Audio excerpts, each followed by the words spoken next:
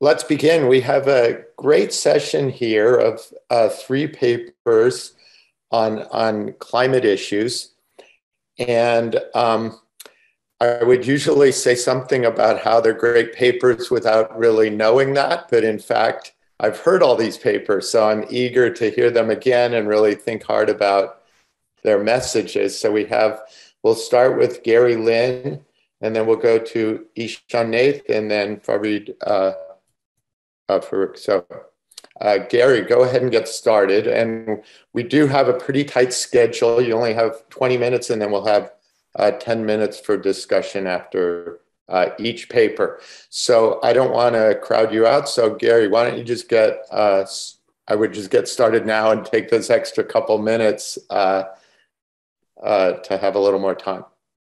All right, thanks, Sam. And, and Sam, thanks to the organizers, um, Anton and Costas for, and others who have organized this. Um, so this is a, you know, this is a paper that's, we're going to try to understand the economic effects of, of climate change, particularly in, you know, with dynamics and with space as, as well. Um, and so this is joint work with Ivan Rudik. Oh, this is wrong. So, so I have this mixed up. So, so he's at Cornell um, and I am at Iowa State, right? And then um, it's also joint with um, William Tan, who is a graduate student at, at Cornell, and Ariel Ortiz Bobea, who is also at Cornell. Uh, and so the, the, question we're at is what's the effect of weather and climate in a spatially connected economy? And what we're going to be thinking about is climate induced warming, right? And so the idea we have is that you know the increased prevalence of extreme heat is already ex- affecting exposed industries and local amenities, um, and the impacts are heterogeneous across sector and space. Okay, um, there's evidence that this is propagating through the supply chain, so we want to be thinking about all of this stuff. And in particular, what we want to be thinking about is this this idea of market-based adaptation, which is which is kind of like a, a market response to um, to climate change, right? So that would be different from like, you know, uh, innovation adaptation, which we're not going to be talking about at all, right? Where you, you know, you, you invent ACs to adapt to extreme heat. Here we're thinking about the fact that um, people have the ability to move from a particular particular location, right? Um, you know, they can reallocate to different jobs, you know, switch industries or sectors that are more exposed um, and then we want to be thinking about trade itself as a response uh, to mitigate these effects, right? So this is what we're going to be um, largely focusing on, okay? Um, and so what we did was to develop a dynamic spatial climate economy model. And um, what we're going to do is we're going to we're going to leverage the model structure to do um, you know two key things, right? And then a third to kind of um, and the first is that we're going to we're gonna we're gonna leverage the, the macro structure to kind of speak to a microeconomic literature that tries to estimate um, the effect of weather on productivity and the effect of weather on local amenities. What's going to be different is that uh, the model is going to tell us um, how, how you know, spatial linkages matter for this estimation process and how dynamics matter for this process as well. Okay. Um, and so this, all this is going to come in from kind of manipulating the equilibrium conditions of the model to derive the estimating equations. Uh, the second is that since we have the macro structure, then we can actually do simulations, right? So then we're going to simulate the effect of climate change and really warming, right? So it's going to be temperature and welfare.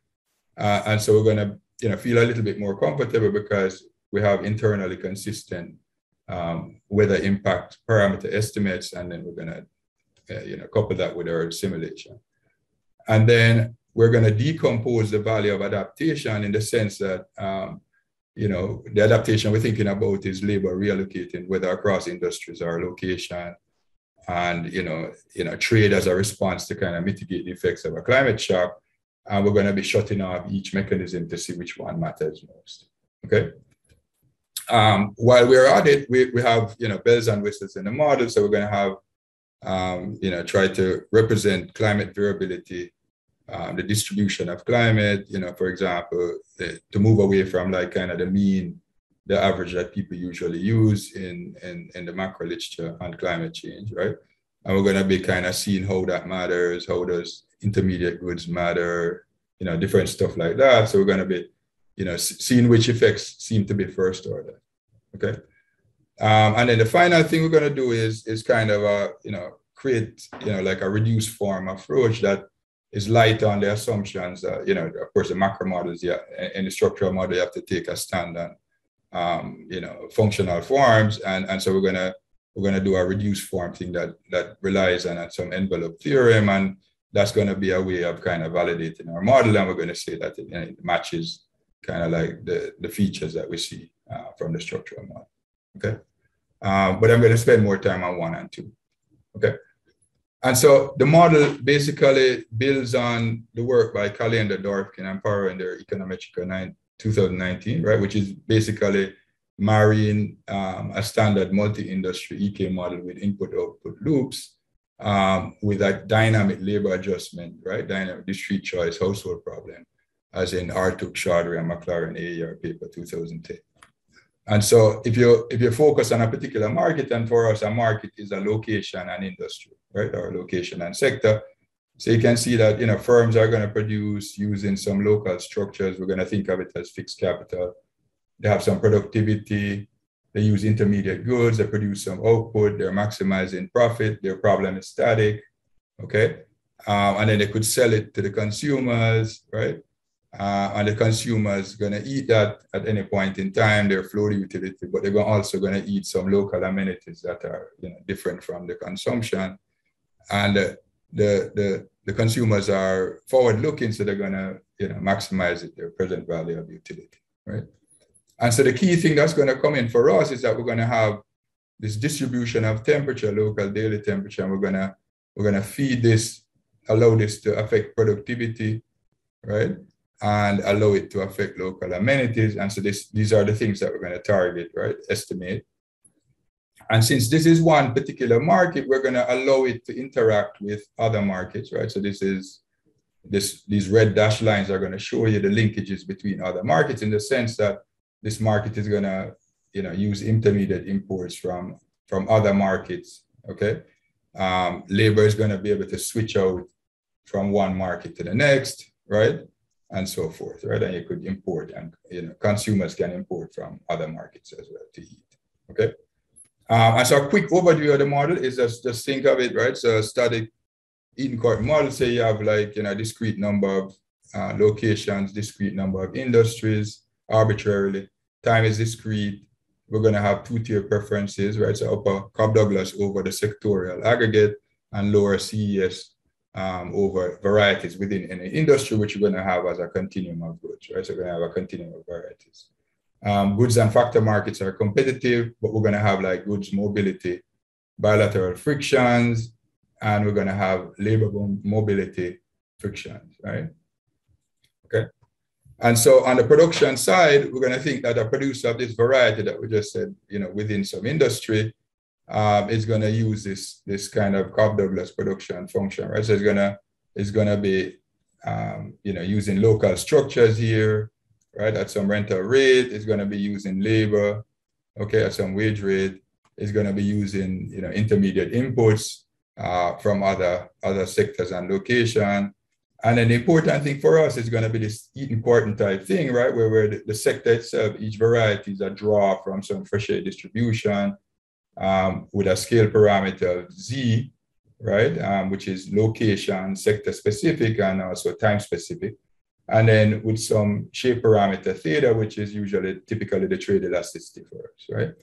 And so this is where we're going to be feeding in um, kind of like the climate effects because it's going to be a measure of um, average productivity or fundamental productivity that's going to capture all these local climate effects. Okay. And in particular, we're going to assume that there's this, you know, for that productivity, there's going to be this, um, you know, this, this, this portion which is non-temperature, right? That's going to interact in this multiplicative separately, separately way, right? Uh, with temperature, right? And so we're going to be thinking of temperature as a vector of one degree bins, counting the number of days in the year T in that bin, and we're going to estimate this, this, this parameter. We're going to estimate it um, sector-specific parameters. Um, but at first, I'm going to show you like kind of like an aggregate response um, across all sectors to, to fix ideas about how we're thinking about the distribution. Okay. All right, so this, this, this G function is gonna give us the sector productivity effect of an additional day at some temperature um, T, okay?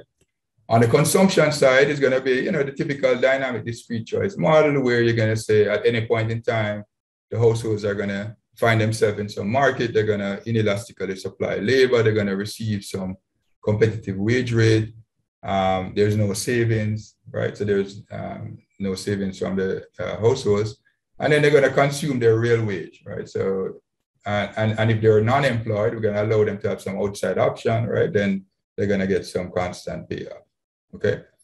Um, and then the key thing for us is that is this amenities, right? So you're gonna you're you're gonna eat this consumption, um, and then you're gonna eat this uh, local amenities, and this local amenities again is to have some kind of non-temperature part, and then we're to have feeding the impact here, right? And so the key thing again is that we're to be estimating this parameter, which is to be um, common across locations because we, we feel that's what we can credibly do.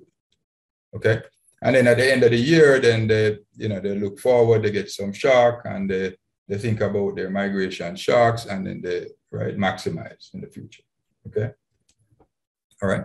And so the, the key conditions that we're gonna we're gonna leverage to estimate effect of temperature and productivity is gonna be um, like some trade flows kind of um, uh, you know specification. And so basically in equilibrium, the bilateral expenditures, right? Trade expenditures of of you know N and I location N and I relative to its own expenditures, right? So this is you know fixing some industry K is gonna is gonna depend on the differences in impacts of temperature between N and I, okay?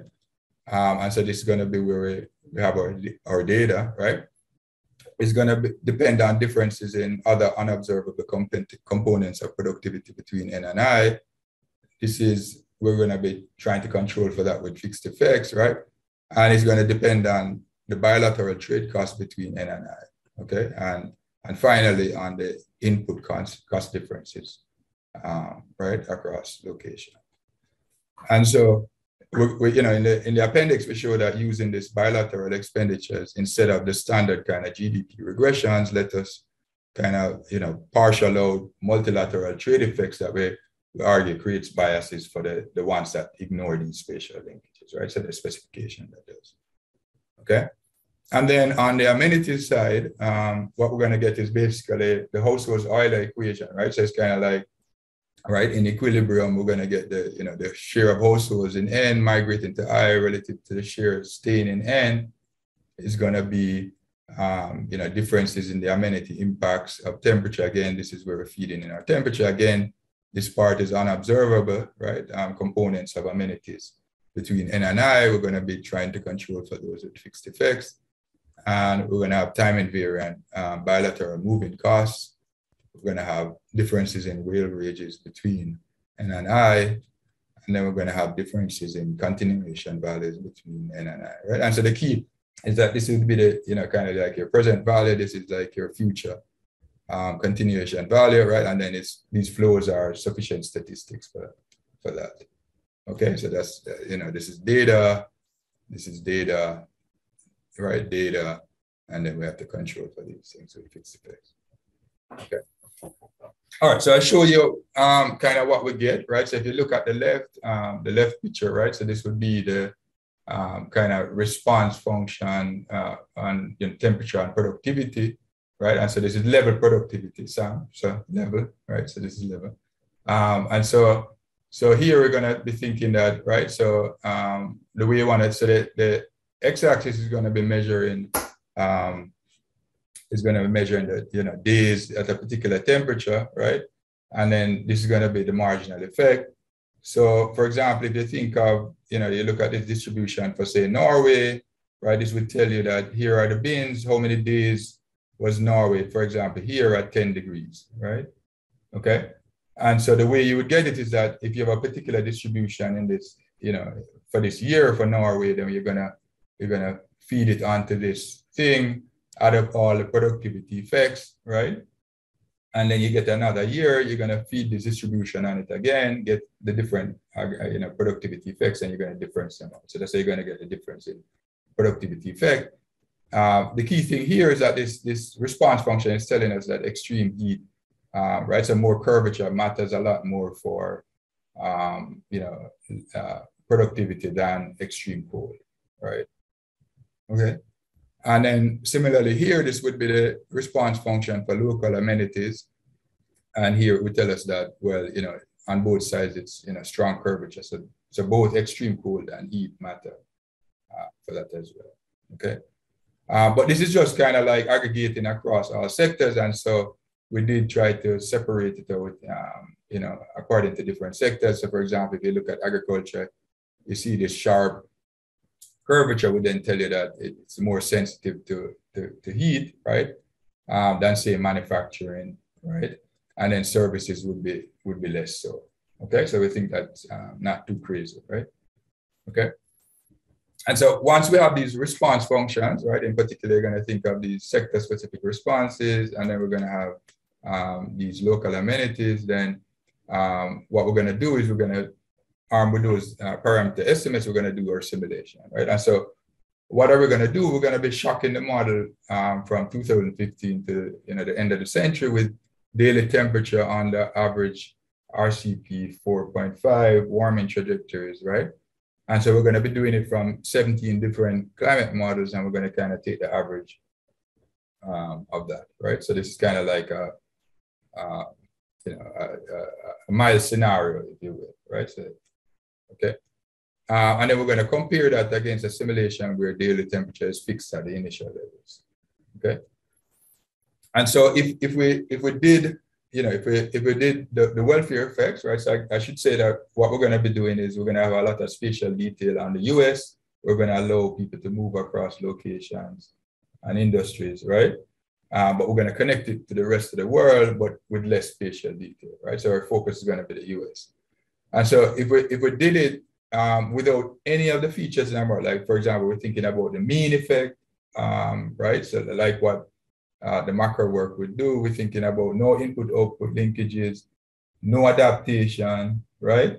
All of that stuff was shut out with every feature, and we're going to talk about it. This is what we'd get, right? So this would be closest to the standard kind of dice model, right? Um, that people would use. And so then you say, okay, you expect this, right? So you get um, you know, negative impacts on the south, right? Because right, they're getting kind of more, they're swapping out uh, more moderate days for more extremely hot days, right? And then in some sense, you're gonna get better distribution in like, um, you know, the Great Lakes and the Northeast, right? So you'd expect that, right? For the colder places, they're kind of swapping out. So we'd say that, you know, a population weighted average welfare effect would actually be positive for the US, right? 1.9%. Um, and then we, if we look at like, you know, the rest of the world, right, we could see that, well, you know, um, most of the European countries, which are, you know, tend to be colder, are going to be um, um, impacted positively by climate change in the sense that you're going to get better weather. But then you have like China and, um, you know, Brazil and India. And, and the thickness of these bars tell you the population, right? So even though you have this kind of, you know, more countries kind of gaining, but then a lot of population is concentrated in the ones that are going to be negatively affected. And so the overall impact is negative. Okay. All right. So a quick run on model structure, right? And then we get to adaptation. So so here, um, what we're going to be, if you think of, you focus on this first row, which is the basic structure that I just said, none of the, the, the bells and whistles, no market adaptation first, then we'll get this 1.9% for the US if we allow we allow for market adaptation, then you see that this this goes up, right? Okay, so that you know it, it makes sense, right? That people are going to mitigate um, these in response, right? And so here, what we're going to be doing as we go down is to, you know, this is with, you know, this first column is, is going to be, or the second column is going to be with uh, market adapt, without market adaptation, it's going to be with market adaptation. Um, and so then we're going to say, if we add input output loops, then um, then this thing, you know, lowers your wel- welfare, right? So input output loops will kind of exacerbate negative global climate shocks, right? Which is it's, it's consistent with what we expect. Uh, amenities seem to matter uh, more than productivity, right? So if, if we're adding amenities, the effect on amenities, then um, we see that this goes down uh, significantly, right? and then you know this one is is it's kind of not crazy, right? Because in the sense that uh, if there's no market-based adaptation, right, uh, and that's the key for for exploiting this forward-looking behavior, then we don't get any, right? We don't get any effect from this. But if we allow for adaptation, then we get some response, right? Okay.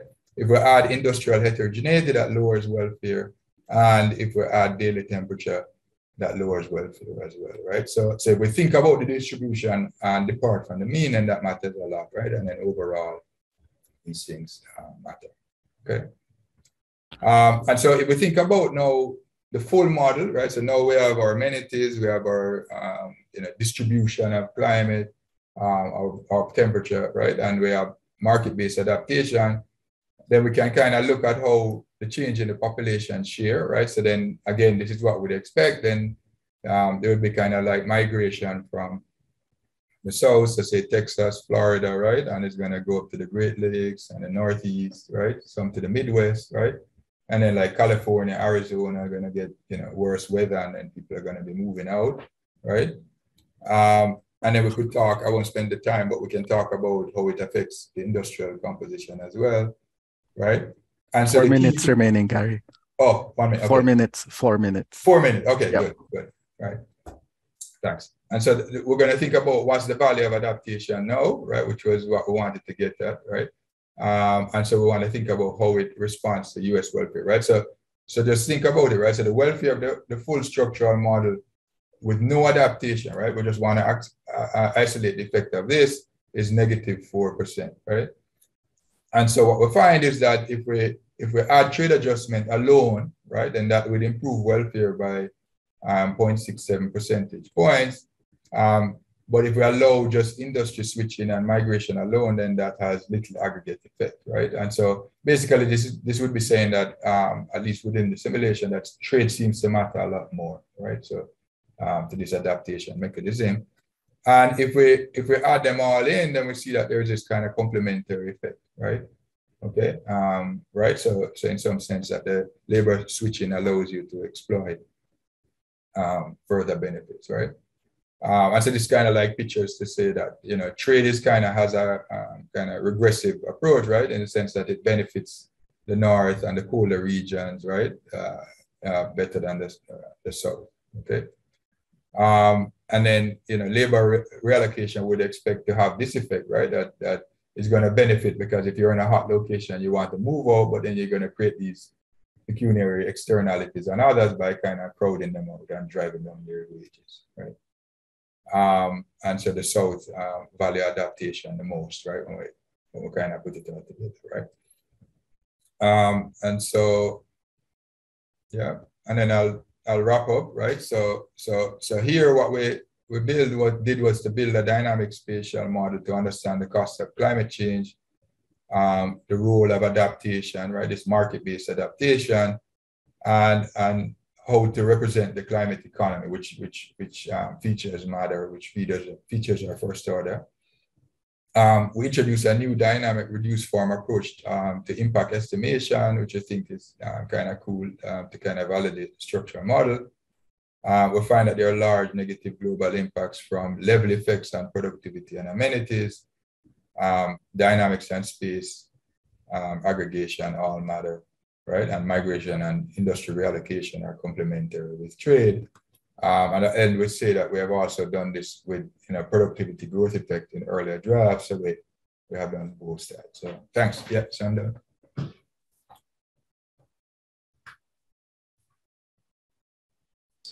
Tom? Uh, Gary, Tom Hertel here. I, I really like the presentation. I haven't read the paper yet, but I'm really impressed. Um, I'm a little um, little confused about how the trade and the location come together. I mean, it looks. I assume the trade is largely is international trade, and the location is intranational within the U.S. Um, are you also attempting to incorporate state interstate trade? I was I was a little confused about how those two things come together right. in the uh, data and estimation. Um, yeah. Right. Right. Yeah. Very cool. Yeah, yeah. So, so, so Tom, yeah, so, so, sorry about that because of the shortness of the presentation. I understand. I understand entirely. I think about what to cover. You're exactly right. So basically, um, what we do is we, we have um, interstate trade in the US, right? So then people can move across states. Okay, they can migrate and they can migrate across um, uh, you know, locations and, and states can trade with each other. But states can also trade with the rest of the world. So, so, so when we think about the US, we think about you know 50 states, right? Spatial detail. But then when we think about the rest of the world, we don't have that spatial detail. They're just sectors and, and a country. And you have a full bilateral trade matrix within the U.S., uh, state to state. Yes, right, right. That is, where does that come from? Right. So, so that we get from, um, we use the same thing from Caliendo, Dvorkin, and Parro, right? So we use this, um, uh, uh, no, I, that escapes me, right? So. Okay, that's okay. I, I don't, I, yeah, yeah. So, so we use so, a, a kind of similar procedure to them. Okay. Okay. Right. So, so, so that we're kind of borrowing, and even the, you know, the migration kind of data across states is this community okay. survey. Yeah, that I'm familiar with. Yeah, a quick follow up, if I may, Sam. Um, yeah. On uh, as kind of a separate issue, I was really interested to see uh, perhaps the reverse migration from south to north within the U.S. Of course, what we've seen over the last couple of decades, even that it has, as there has been warming, um, we've moved seen the move to the south. Um, so it looks like you're undoing that. Um, any thoughts on that? Any idea about how well your framework would backcast, for example, in a migration right, sense? Right. I think I think the way I think about it, so that's a great point, actually. Um, so, so the way I think about it uh, that we're not, we're just kind of capturing one element, right? So we're thinking about warming, um, nothing else, right? And then we're also um, not thinking about um, you know the, the, usual adaptation, right? Like innovation and, and stuff like that, right? So we're kind of ignoring that part because we haven't figured out how to how to include it, right? So, so I would say maybe you know that part would kind of mitigate some of that uh, movement if people are able to kind of innovate um, and adapt, right? But so this would be purely like if you didn't if we didn't allow you to kind of innovate, right? We just want to think about the value of this this market-based adaptation. So we have to abstract from that. You referred to air conditioning earlier on. I'm sure that plays played a role. Exactly, exactly, exactly. A, a huge role, right? But Gary, okay, how soon would you ex- how soon would the model think that the reverse migration would begin? Because maybe you're not. This is more like a projection of what's going to happen in the next 30 years. Am I kind of right in thinking that way? Yeah, yeah, yeah. But, but no, you're exactly right, Sam. So, so that's the way I think about it anyway. But then I, I'm not sure because I think we'd have to some way try to think about the innovation to kind of answer that question. But but I'm just saying straight up the the model. Um, what how should I think about in the things you showed us when those would be happening? I guess what what's oh the, so, so, so this would be like the end of the century, like 2100. Right. Okay. Okay. So um, yeah, and I I wanted to say that I liked the well I, obviously i like that the level effect results and and the distinction between the the amenity effect and the productivity effect and the the inverse U for the amenities, but just sort of a, hockey stick shape for the productivity. Yeah. I thought was pretty compelling. Um, yeah, so I just wanted to oh, say thanks. that. that looked, thanks, thanks Tom. I, appreciate that, and, and Tom too. Thanks for the um, right. So it you had pushed us with a with a level effect, right? So I think Tom I'd mentioned that in, in one previous talk. So, we, you know, we, we took that seriously. Thank you. Yeah, good. Ishan? Uh, cool. Thanks. This is super interesting as always to see Gary. I guess I was curious for another thing you didn't have time for in the talk, which is to hear a little bit more about how the costs of migrating were calibrated or like where that came from in the data. And I was, so I was curious first, uh, is the migration across space also allowed internationally or only within the US? Uh, and then I guess the second question is you didn't have time, obviously, for the full dynamic discrete choice estimation. So I was wondering if you could give us a little flavor of basically how costly you guys are backing out it is for people to decide to move and sort of what identifies that cost in the data. Right. So, so, in, so in the data, in the, in the specification, we're gonna we're going to kind of pull that out as a fixed effect, right? Kind of, it's similar to what like ACR does. Um, and the way we're going to um, kind of estimate the dynamic feature model is, is we're going to have the, the logit form. So we're going to have uh, this conditional choice probability approach, right? So that's kind of what we're leveraging where it's not estimation to simulation, but, you know, we actually have a closed form solution um, and we can pin that down. Um, what was the other point again, Ishan? I guess the other point was like, how costly are you finding it for people to be for people to move across space, both within the U.S. Ah, okay. So, so, so yeah, yeah. So, so I don't know off the top of my head, Ishan. We, we had at some point in time, but we had kind of thought about, but but we can definitely look at that and and, and see. For sure. I just think it would be really interesting because it's like remarkably hard to find estimates of just kind of what is the cost, like how much are people willing to pay to not have to move from Texas to Minnesota? Right. Which is right, critical right. underlying. No, no, no. That's a great point. Actually, yeah, yeah, that's a great point. Um, yeah, yeah. We, we can we, we'll look at that, yeah, because I remember actually Artuç Chaudhuri and McLaren, that was a big point for them to kind of say what what are the actual costs and um, they had follow-up papers on that. So we, we can definitely look into that and it would be cool to um, benchmark against the literature too. Like I think in one of Melanie Morten's papers, she estimates this in Indonesia, and then there's like another paper uh, in the U.S. where it might be estimated. So it's just okay. I feel like that's a thin literature, and you guys have something to say about it. So I'd be Oh, thanks, thanks, Ishan. Yeah, yeah, we definitely take that into account. Oh, I remember your la- your, your last point. No, so you were saying so what we have is um, so within the U.S. people can move across states, you can trade with states, um, you can reallocate across industries um, but there's no international migration. So because just, we just don't have the data. So so the way we want to think about our work is that we, we, are less concerned with um, global coverage, right? So so you know if you think about like the, the, the typical climate economy model is more about global coverage. We are more concerned about um, like taking the model to the data kind of a thing, right? So we want to link this macro and micro, um, and so the spatial kind of you know, data that's available that's going to limit us, right? So we're, we actually tried to apply for some European data so if we could get some space there, um, but that hasn't worked out yet, you know, so hopefully. Cool, cool. Okay. Thanks, thanks, Isha.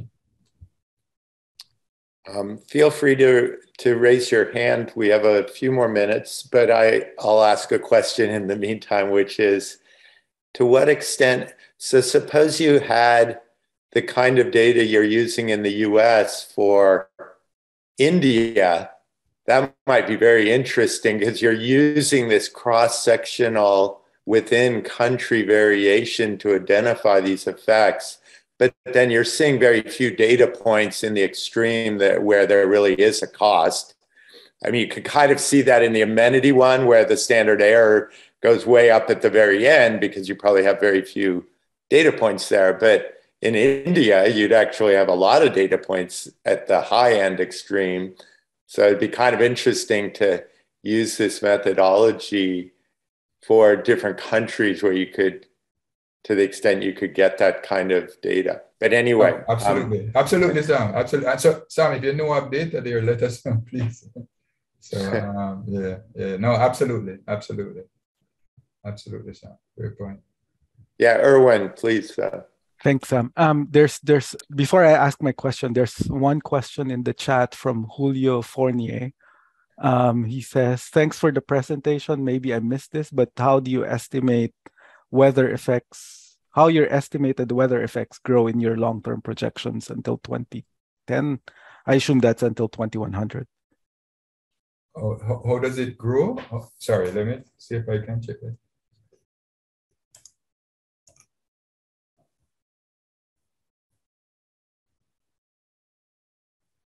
Gary, you're just taking it from the climate models, right? Oh, you mean the estimate of productivity effects? No. So we're actually estimating it ourselves.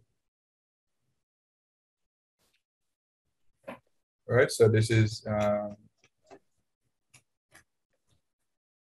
uh,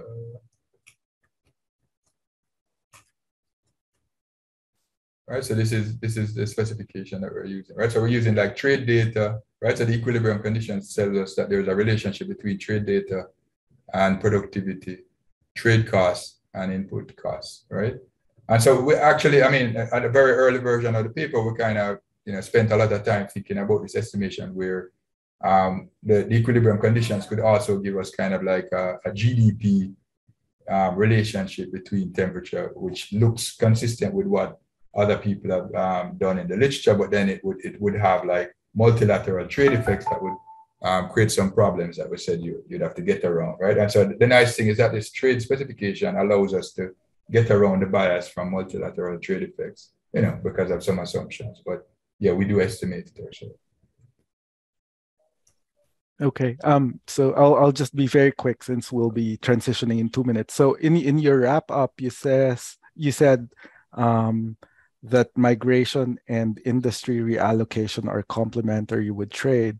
So I'm just wondering, um, do you get to distinguish um, the particular type of industry um, whenever you refer to reallocation? So, for example, if you have a heavy manufacturing industry, for example, that that can still be located in a place where um, it um, gets hot, but since they're inside um, a, a, building with air conditioning, for example, then they could still um, stay in a place where um, it's getting hot. Um, or probably it's it's just um, directly related to to, peop- to to migration, right? Um, because people are moving, then it's forcing industries to move where people are moving as well. So I'm I'm just wondering about that, but yeah.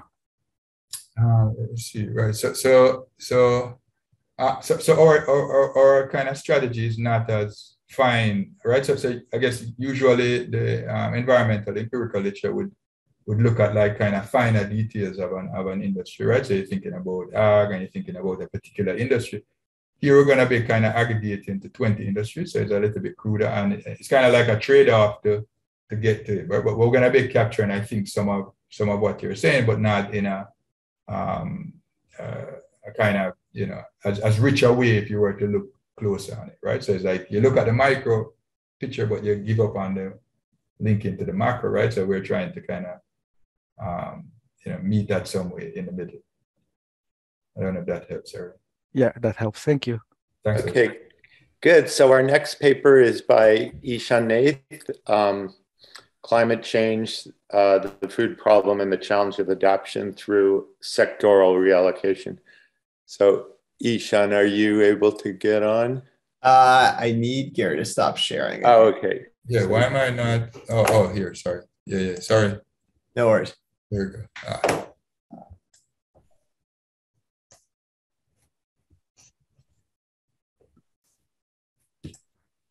All right. Can people see my slides? Uh, okay.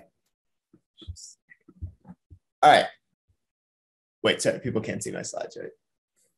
Whoops, we can see them. They don't look quite full screen, but. Oh. Uh,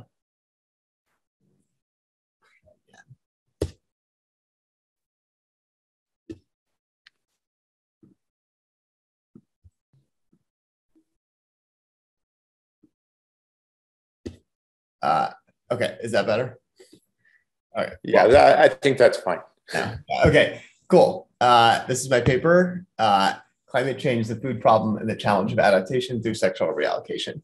Okay, so to motivate the paper, I'll start with this graph that shows kind of a summary of this large literature that exists of the impacts, estimating the impacts of global warming on agricultural productivity throughout the world. And there's basically two key things I want you to take away from this picture that motivate this paper. The first is that climate change damages in agriculture are expected to be large and concentrated in places where a lot of people currently work on farms. So, just to take an example, here in East Africa, we have Ethiopia, where the agriculture share of GDP is about 45%. And this projection suggests a 30% decline in agricultural productivity in this kind of high emissions baseline uh, climate change scenario. So right away, if you assume no re- reallocation across sectors, that would be a 15% drop in people's in people's incomes from these large agricultural productivity shocks in these places where a lot of people work on farms. But the second thing I want you to take away from this picture is that there's a lot of heterogeneity. We know that in general, extreme temperatures are, are bad for crops and moderate temperatures are good. So we can expect global warming to have neutral to even, even some positive effects on agriculture in colder places at higher latitudes. So this underscores how critical it is to know where the world's farms will be in the future. When you look at this map, it's, it's clear that global warming will be really, really bad uh, in poor countries if they continue to specialize heavily in agriculture but it might be a lot less bad if we were able to move a lot more farms to Canada and ship a lot more food to India. So that's basically my research question. How do we expect global warming to reallocate production between agricultural and non-agricultural sectors throughout the world? And what are the welfare consequences of the reallocation we might expect to see? So there are basically two conditions required for this kind of grow more food in Canada hypothesis to really help us adapt to global warming. The first is that for hotter countries to actually gain by reallocating away from farming, it also needs to be the case that other sectors of the economy are less vulnerable to the effects of extreme heat, such that it's comparative advantage in agriculture, not just absolute advantage, that's moving away from the equator.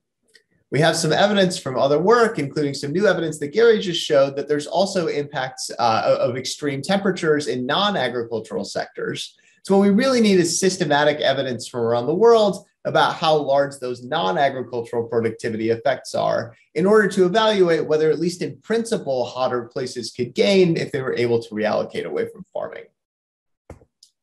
So, I answer this part of the question empirically by using data from around the world to estimate the effects of extreme temperatures on non agricultural productivity.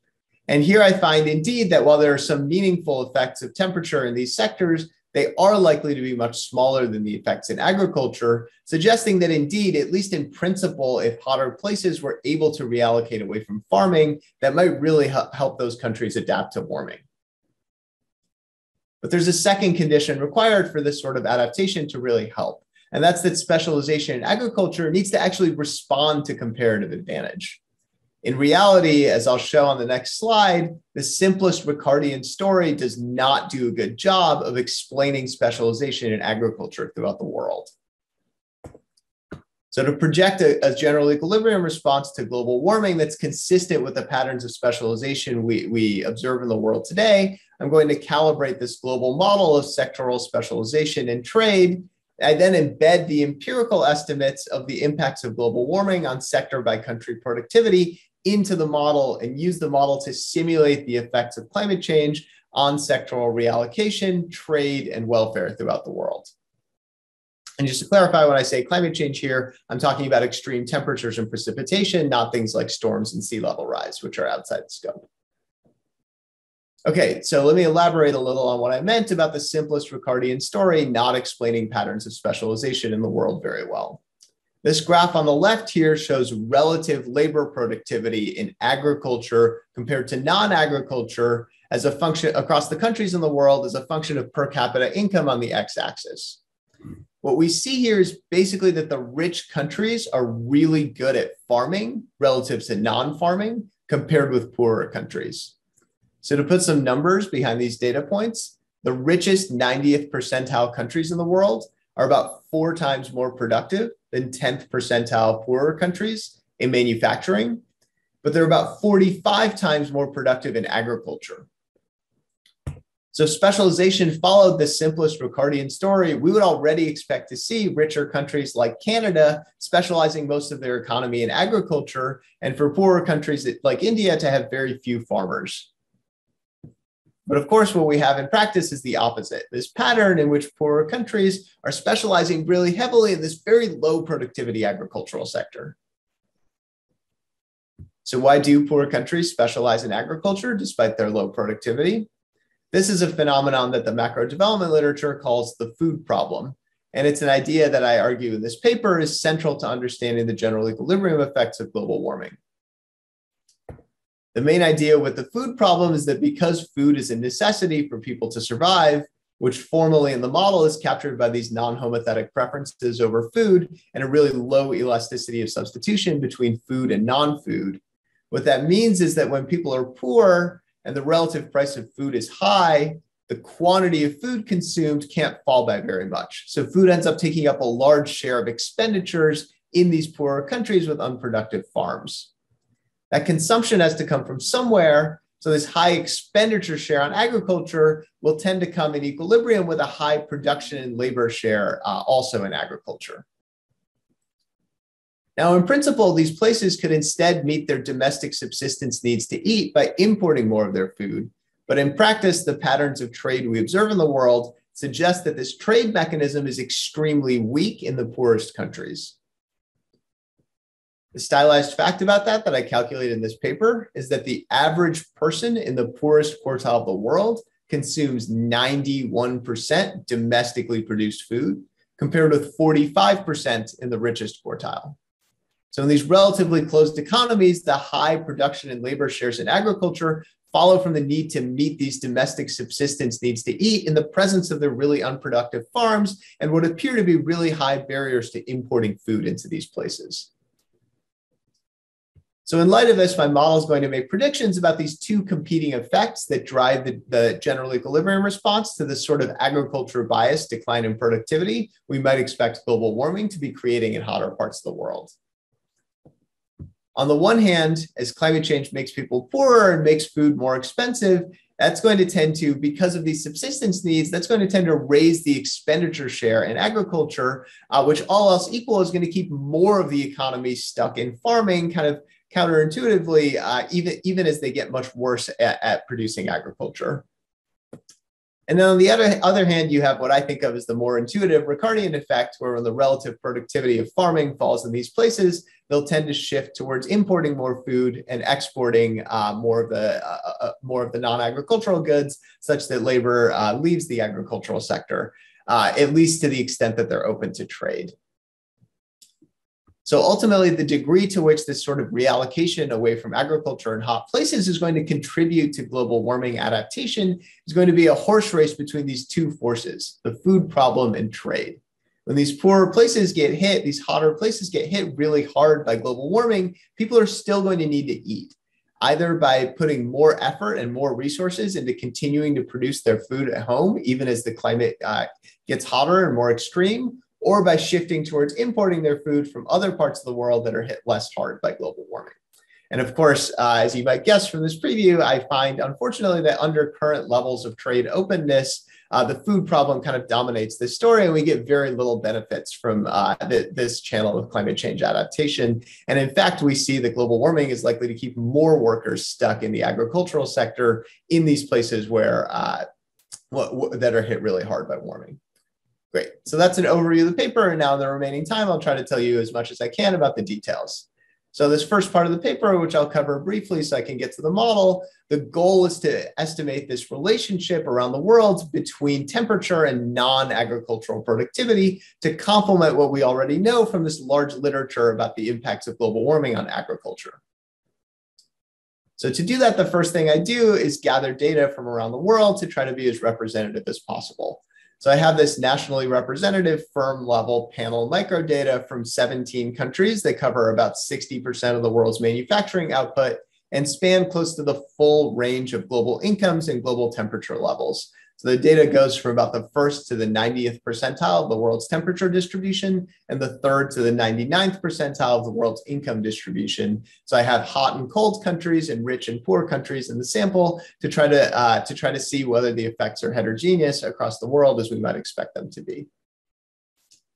Great, so just to cover the empirical strategy briefly, uh, I'm going to use this data to estimate the effects of extreme temperatures on labor productivity, so output per worker, uh, in these panel regressions that control for firm and region by year fixed effects, such that we're using variation in what the same firm experiences over time, controlling for aggregate shocks to identify the impacts of global warming. And then the second thing I'm going to do here is just let these effects of extreme temperatures vary with how, how productive the firms are. So how rich the places where the firms are operating and how hot the places where the firms are operating. So I show in the paper that from the firm firm's first order condition, we might expect those firms that are more productive and that those firms that are more exposed to extreme heat because they're in hotter places to have invested more in adaptation like cooling and heating to protect their workers from extreme temperatures in equilibrium. And so I try to let the data reflect that by seeing how the effects of temperature vary across space uh, in, in, that way. And then what that uh, what these heterogeneous treatment effects are useful for also is to allow me to make predictions about temperature sensitivity across the world, including in all the countries where I don't have data. So to run the model simulations in the second part of the paper, I need to estimate the effects of global warming in Algeria without having data in Algeria. And by estimating how these effects vary with these uh, readily available features uh, of country characteristics that we also have projections for into the future, I'm able to estimate these temperature sensitivities around the world. Okay, So to take you briefly through the empirical results, this graph here shows you kind of an analogous version to what Gary was showing uh, the impact of extreme temperatures on output per worker, in this case in the manufacturing sector. And it shows importantly how these treatment effects vary across the different contexts we see in the world. So as you go up the rows here, you're looking at richer countries. As you go to the right across columns here, you're looking at hotter countries that we might expect to be more adapted to heat. So this bottom middle cell here, we can start with to get a quick uh, to get a quick understanding of the magnitudes of these shocks. So this is a firm operating in a very poor country with approximately a moderate temperature. So we might expect this to be kind of the least adapted sort of firm. And for this kind of firm, we find that ex extreme heat over uh, 40 degrees C or about 100 degrees Fahrenheit uh, and extreme cold uh, both reduce one day at an extremely hot temperature of, of, of, about 104 degrees Fahrenheit is going to reduce annual output per worker by about 0.4 percentage points, which is approximately the equivalent of one full working day. So what this is saying is that if firms are not very adapted, temperature can have huge effects on manufacturing productivity, but then that's where the impact, uh, the importance of this heterogeneity comes into play. So you can see as you move to the right within a uh, within a row across columns that the hotter places are going to be less vulnerable. The firms in hotter places are less vulnerable to heat. As you move up across rows within a column, you can see that in the richer places, firms are less vulnerable to mo- both extreme cold and extreme heat as they're more productive and more uh, more invested in, in, insulating their workers. Okay, five so minutes. Five minutes each. Oh, Oh, wow. I managed my time poorly. Okay. Uh, so now I have these uh, impacts of global warming on manufacturing productivity that I get from combining these temperature sensitivities with changes uh, in the global climate.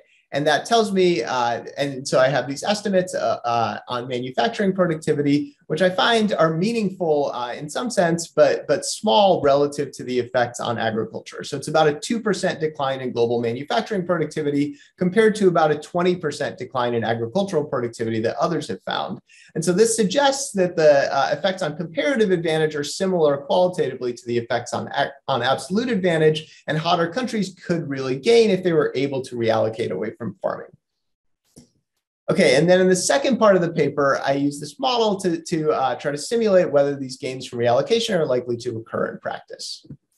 So the model consists of a, a, representative consumer worker in each country that has these non-homothetic CES preferences over the three sectoral final goods, agriculture, manufacturing, and services. Agriculture and manufacturing are traded in the model and trade in each of these sectors follows a standard Eaton and Kortum Ricardian structure. Uh, and then services are non-traded. I'm not, uh, and then I calibrate the model to, to match sectoral GDP shares and bilateral trade flows. So to take you through the critical uh, counterfactual uh, comparative static in the model, I just want to show you this one key equation for the labor share in sector J in country K. Uh, and so this is basically like the share of workers in agriculture in a given economy. That's going to be a function of the food you produce for domestic consumption at home, and then the gross exports to all the other countries. So this first term here, pi JKK is the domestic production share of agriculture's expenditures. Omega JK is the expenditure share in agriculture. Uh, and then the second term here is the analogous thing for all the other countries. So we can use this equation to break down this horse race between the food problem and trade. Now, the first half of the story is this change in the expenditure share. So we have a, a formula as a function of these non-homothetic preferences for the expenditure share in agriculture in a given country as a function of their relative prices and their real wage. And when we think about this kind of agricultural productivity shock, we can think about food getting more expensive and people getting poorer, so the real wage falling. And what this equation tells us is that as long as food is not very substitutable, which it's not, the increase in the relative price of food is just going to raise the expenditure share in agriculture as people still need to eat. So the sigma less than one is going to mean that the increase in relative price raises the expenditure share. And then similarly, because of these non-homothetic preferences, as climate change makes people poorer, as long as this epsilon A is small enough, which it turns out it is, that's also going to tend to raise the expenditure share in agriculture. So the first effect here in this equation is that uh, is that these subsistence preferences are, go are, going to mean that when climate change hits these economies, they actually have a higher expenditure share, which all else equal would lead to more workers continuing to be in agriculture. But then we also have the Ricardian effect in this equation, where these countries would tend towards importing more of their food, so reducing their domestic production share and exporting less food to other countries. And so now we need to quantify the model to see uh, the, the, the breakdown between this horse race. So I'm going to skip the model calibration and show you some of the counterfactuals in the remaining few minutes. So this is what the model tells us for the impacts of global warming on net exports in agriculture throughout the world. So what we can see here is that there is some of this grow more food in Canada effect going on in the model simulations. There's an increase in agriculture's net exports in the hotter places and an increase in the net imports of agriculture and the net exports of, of the manufactured goods. Uh, uh, sorry, in the hotter places as the colder countries specialize a little bit more in agriculture. Uh, but we can see also that these effects are pretty small. It's like one or two percentage points in most countries uh, is the increase in agriculture's net exports. And so now uh, we can break down this, uh, break down the full comparative static between the food problem and trade by taking a few example countries and running some intermediate counterfactuals. So the blue bars here are telling us the agriculture share of GDP before global warming effects uh, are hitting these economies. So we have these hot countries, these hotter, poorer countries that are specializing more in farming. Now, what the red bars tell us is if you assumed that these places uh, only, if you started off in autarky and you only take into account the impacts of the food problem on the expenditure shares. So as agriculture gets hammered in these places, they're going to tend to spend more of their incomes on food and all else equal, that would keep more production and more labor stuck in agriculture then the green bars show us the net effect, uh, where there's also some trade response. And in some of these places, you get some increase in imports of food that brings the, the share of GDP in agriculture and the share of labor in agriculture back down. But in most places, the trade effect is relatively small. So on average, I find about a 3% increase in agriculture share of the labor force in that poorest, hottest quartile of the world, where agricultural productivity is getting hit really hard. So now in the last minute or two, I'll just tell you about what that means for welfare. So the first thing you might think is if more of the economy is staying stuck in the sector that's getting hit really hard, that's going to be bad for kind of our standard measures of aggregate productivity or GDP. So what this graph shows you here is that accounting for this reallocation actually makes the hit to GDP much worse in these hotter countries. So the so the green bar is is the full equilibrium uh, in, in, impact on GDP, and it's much bigger than the blue bar, which assumes that the sectoral shares kind of stay fixed at their initial levels. Uh, so you might ask yourself, why is this reallocation taking place if it seems to be exacerbating the problem? And that's because in this setting with non-homothetic preferences, that GDP or aggregate productivity effects are actually not a good measure of welfare. So what this graph shows you here is that this reallocation uh, is actually reducing the welfare effects dramatically because even, even if more labor is staying stuck in the low productivity sector, at least people then have enough food to eat. So the blue bars are telling us that the kind of fixed counter the fixed uh, labor share counterfactual is actually kind of a, a, really unrealistic straw man. So that's basically the counterfactual in which people get poorer and food gets more expensive, but people don't change their expenditure shares, and so they're just not getting enough to eat. And so the reallocation is helping people be able to feed themselves, even if it's kind of making the, the measured productivity problem worse. But the other thing we can see here is that including trade into the analysis basically does nothing to the welfare effects because there's such a small trade effect in these places that are mostly closed off to trade in the present day. And so overall for the world, it's only about a 2% difference if you assume autarky or uh, include the trade effects. And that's because these places that are most vulnerable to global warming are also least open to, to trade. And so um, these are this is the welfare effects you get in this kind of standard uh, no trade uh, standard standard estimated trade cost counterfactual. It's driven by this large increase in food prices in these places where agriculture gets hit. But then I also show in the paper that if you assume that poorer countries were able to trade about as much as richer countries are today, so they become more open to trade, better infrastructure, uh, lower tariffs in the future, that then the welfare effects are substantially smaller, as then they're much more able to reallocate away from the hard hit sector and protect their economies from global warming.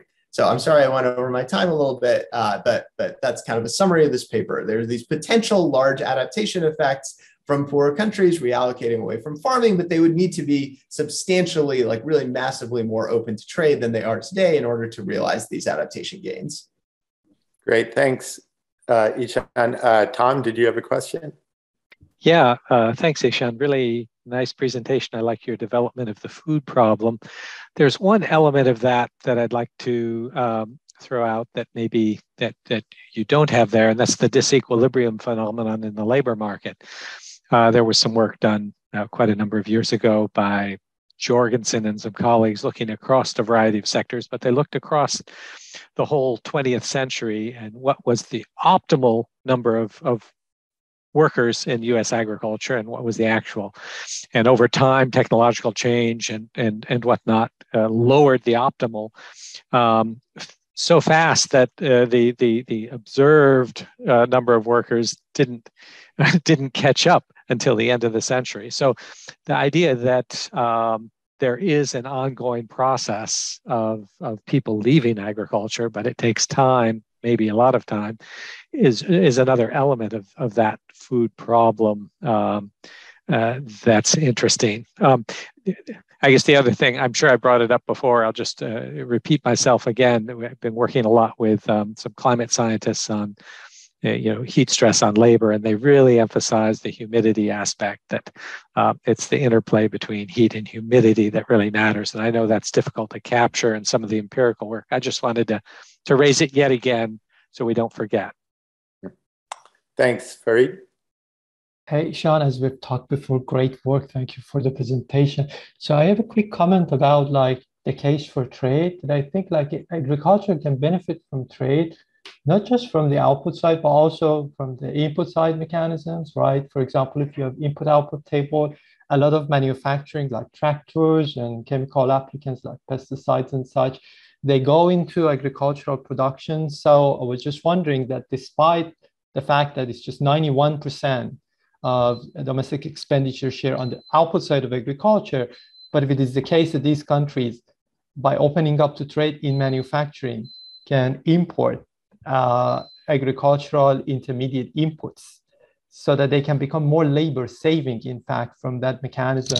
So that mechanism or that channel can, can help the case of trade against the food problem. Uh, I wanted to hear your comments on that, or maybe that was just a suggestion. Sounds good. Uh, I yeah, I agree with all these points both that you and Tom have made. I think they're very like big fan of your paper about the endogenous feedbacks. I think that was your paper, uh, endogenous feedbacks between trade and technology and agriculture. I think that's a very important mechanism uh, that I'm not capturing here, uh, which you might think is is just going further towards. Uh, ex, uh, I, would think of that as expanding the, the gains from from trade for agricultural real uh, for climate change adaptation. So it's another mechanism in that direction. And then to Tom's point about the the labor frictions. I would think of that as uh, I'm showing the kind of I would think of that as uh, making the the primary counterfactual with estimated trade costs, strengthening that result, and then weakening the result about the gains from trade. So I'm finding in the main counterfactual that there's not much movement away from uh, agriculture. And so if you think workers are stuck in agriculture because of these other frictions that prevent labor markets from reaching equilibrium, that would mean that even more workers stay stuck in agriculture. But then in the in the trade equilibrium, in the in the more lower trade costs, more trade uh, counterfactual, I'm showing a big reallocation away from agriculture. And you might want to take that with a grain of salt because I don't have these labor market frictions. Uh, and I totally agree with Tom's point about about wet bulb temperatures. Also, it's just kind of uh, it's very difficult to the historical and the future projection data is kind of very difficult. And I think that's something the climate scientists are really trying to work hard to work with economists on to get us some estimable stuff. And so hopefully in the next couple of years, there will be some great, more great papers on that. I think there are some that are more local uh, and historical at this moment, but we don't have kind of the global systematic data we would need to fully incorporate those effects. But I totally agree they're important. Good. Uh, Fustini? Yes, thank you. A very brief one. I'm just wondering, maybe I missed this. Uh, I was wondering why we don't have the main terms in the econometric equation you showed. I think there are some interaction terms, but I think I didn't see the main terms. So is there any reason for that? Oh, uh, yeah. I just I just didn't write it all out, but the this is like beta times some functional form of temperature. And so like in the main counterfactual, there's like a piecewise linear functional form where uh, there's one effect for, for degrees times days below a certain cold threshold and one effect for degrees times days above a certain hot threshold. But you could also do it with like a, I also show it with quadratic of temperature or uh, higher degree polynomial of temperature or bins of temperature, things like that. So I just, it was just kind of shorthand. I didn't write out the full functional form, but that's the, the this term is the main effect.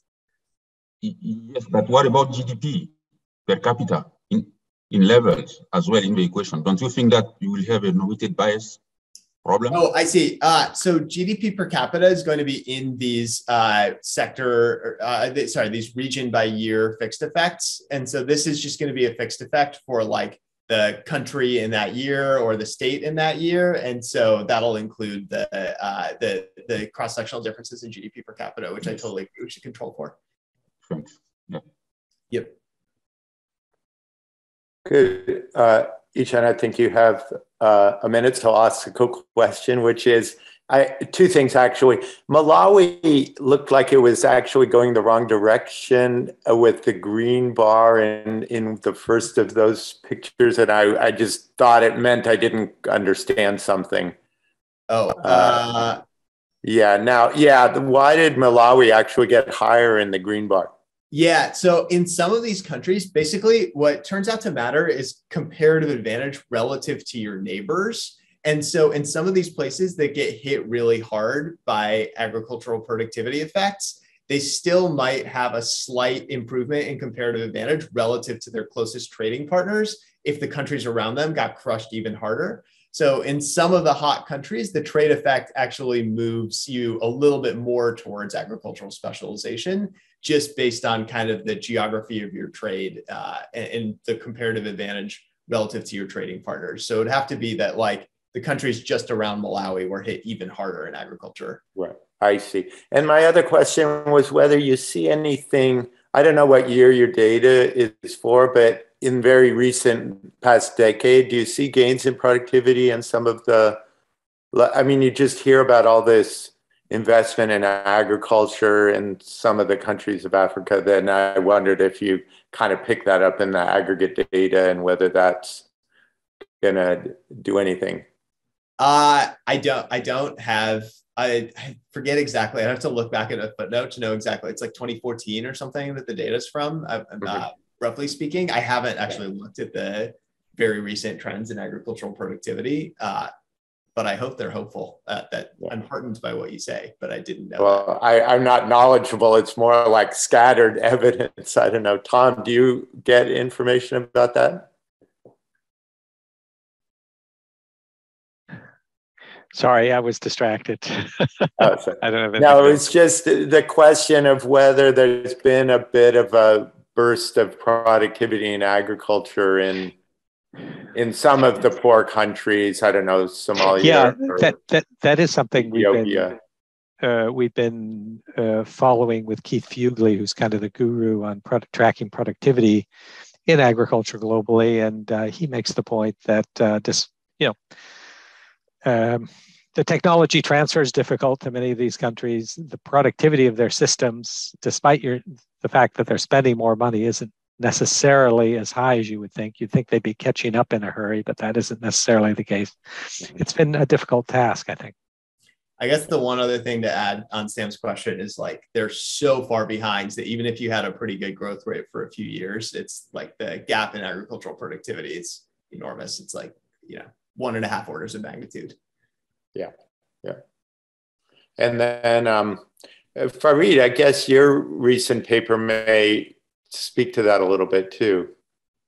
The the one that you presented in the conference for Jonathan. Yeah, I was thinking about that. Uh, it's also a little bit about like technology transfer, whether these countries are facing barriers to adopt these modern technologies to boost their productivity, and what are those barriers, how they interact with trade exactly. Yeah, so you should um, you, you should start, Farid. I think you're supposed to start it. No, we're, we're saying very accurate, 939. Okay. And I have 20 minutes just to be sure, right? Yes. That's right. Yeah.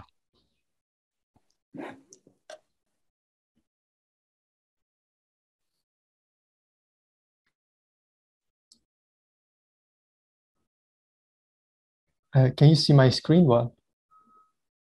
That's good. That's good. Okay, great. Thanks for having me in this nice seminar. Uh, this is joint work with Ahmad Lashkaripour from Indiana University. The title is Can Trade Policy Mitigate Climate Change? And our starting point have been uh, noticing this common and very growing concern about the fact that uh, recent or existing climate agreements, such as the Paris Climate Accord, have failed to deliver their target outcome or any significant reduction in uh, greenhouse gas emissions. And the reason seems to be uh, because of the incentive structure in these uh, agreements on international, global, uh, and, and international uh, agreements on climate.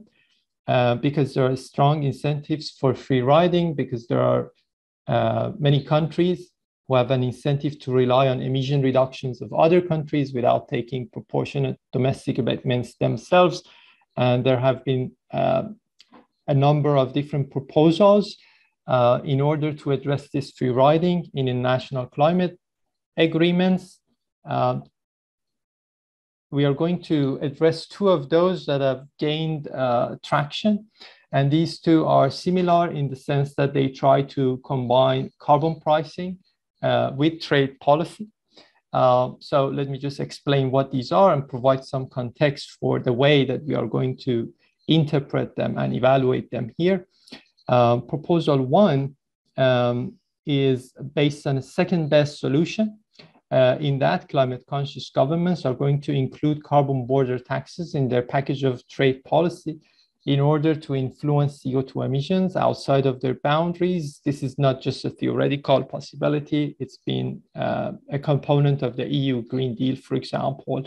And my understanding is that it is a it is uh, something that is going to be explored also in the in the climate plan of the current administration in the US. Uh, proposal two takes a different perspective, and in that, climate conscious governments are going to form what we may call as a climate club and use their trade penalties collectively in order to incentivize otherwise reluctant governments to join the to join the club. So these two proposals are similar in the sense that, as I said, they try to combine carbon pricing with trade policy in order to address free riding issue um, however, they are different in terms of the approach because proposal one is based on um, a presumption that a global agreement on climate is unlikely to happen. So that the best you could do is, in fact, the second best solution to act unilaterally with these carbon border taxes. But proposal two has the presumption that because uh, carbon emissions are global bad, the way to solve the problem is also should be global and the problem with uh, existing agreements on climate um, is not their multilateral nature, but just that these agreements um, are, they they don't have a right or their their architecture is flawed. So let's come up with a better uh, design of these policy agreements. Um, so um, with this, we are going to combine data and theory to evaluate proposal one and proposal two. The literature here is vast. My time is limited. So just let me mention that we are going to speak to two strands of literature, one on the theoretical side, where there are notions of optimal policy. Uh, most importantly, the work of Sam uh, Kortum and Weisbach, which we've been learning a lot from. Uh, compared to that work, we are going to go beyond two country settings, uh, which matters if we uh, for, for the study of the climate club, where participation of multiple countries is something to explore. Then there's uh, the quantitative side of this, this literature, where, where there is no explicit notion of optimal policy, and we are going to uh, bring, bring some notion of optimal policy uh, with respect to proposal one and two so that we can address the full potential of these proposals. The work of Nordhaus himself is also can can lie into in this literature. Um, so very briefly on what uh, comes next. First, we want to develop a uh, model of trade that is multi-country and multi-industry. We extend it to have uh, CO2 externalities and scale economies by firm entry, very much like the Krugman model. Then we derive fairly simple analytical formulas uh, for optimal taxes uh, this is uh, something like an envelope result that facilitates the task of characterizing optimal policy under general equilibrium considerations. Then we map the model together with these optimal tax formulas uh, to, to the data to evaluate the effectiveness of carbon border taxes, proposal one, and the climate club model, proposal two. So the theory is uh, fairly standard on the demand side. Uh, so this is a multi-sector Krugman model, monopolistic competitive markets. And for, uh, for having an abatement, a notion of abatement, we're going to have an extension of the classic work of Copeland and Taylor abatement model. Then we have many countries, each endowed by a given labor force, and we have many industries indexed typically by K here, each served by a massive symmetric firms, and this mass is endogenous um, because of firm entry. And on the demand side, we have a three-tier consumption or utility function. On the very upper tier, there is demand between industry-level composite goods, like where you combine uh, chemicals and electronics and transportation bundles. Then within each, each of these industries, like chemicals, there are varieties coming from different countries, chemicals from China, chemicals from Mexico and elsewhere with the elasticity of substitution sigma. So this is the Armington model where trade in fact happens. And within each of these industry origin pairs, like chemicals from China, there are products that are differentiated by their firms in a sense. There's the elasticity of substitution gamma that regulates markup. Um, then on the supply side, we have costly entry by potential firms in each country industry pair.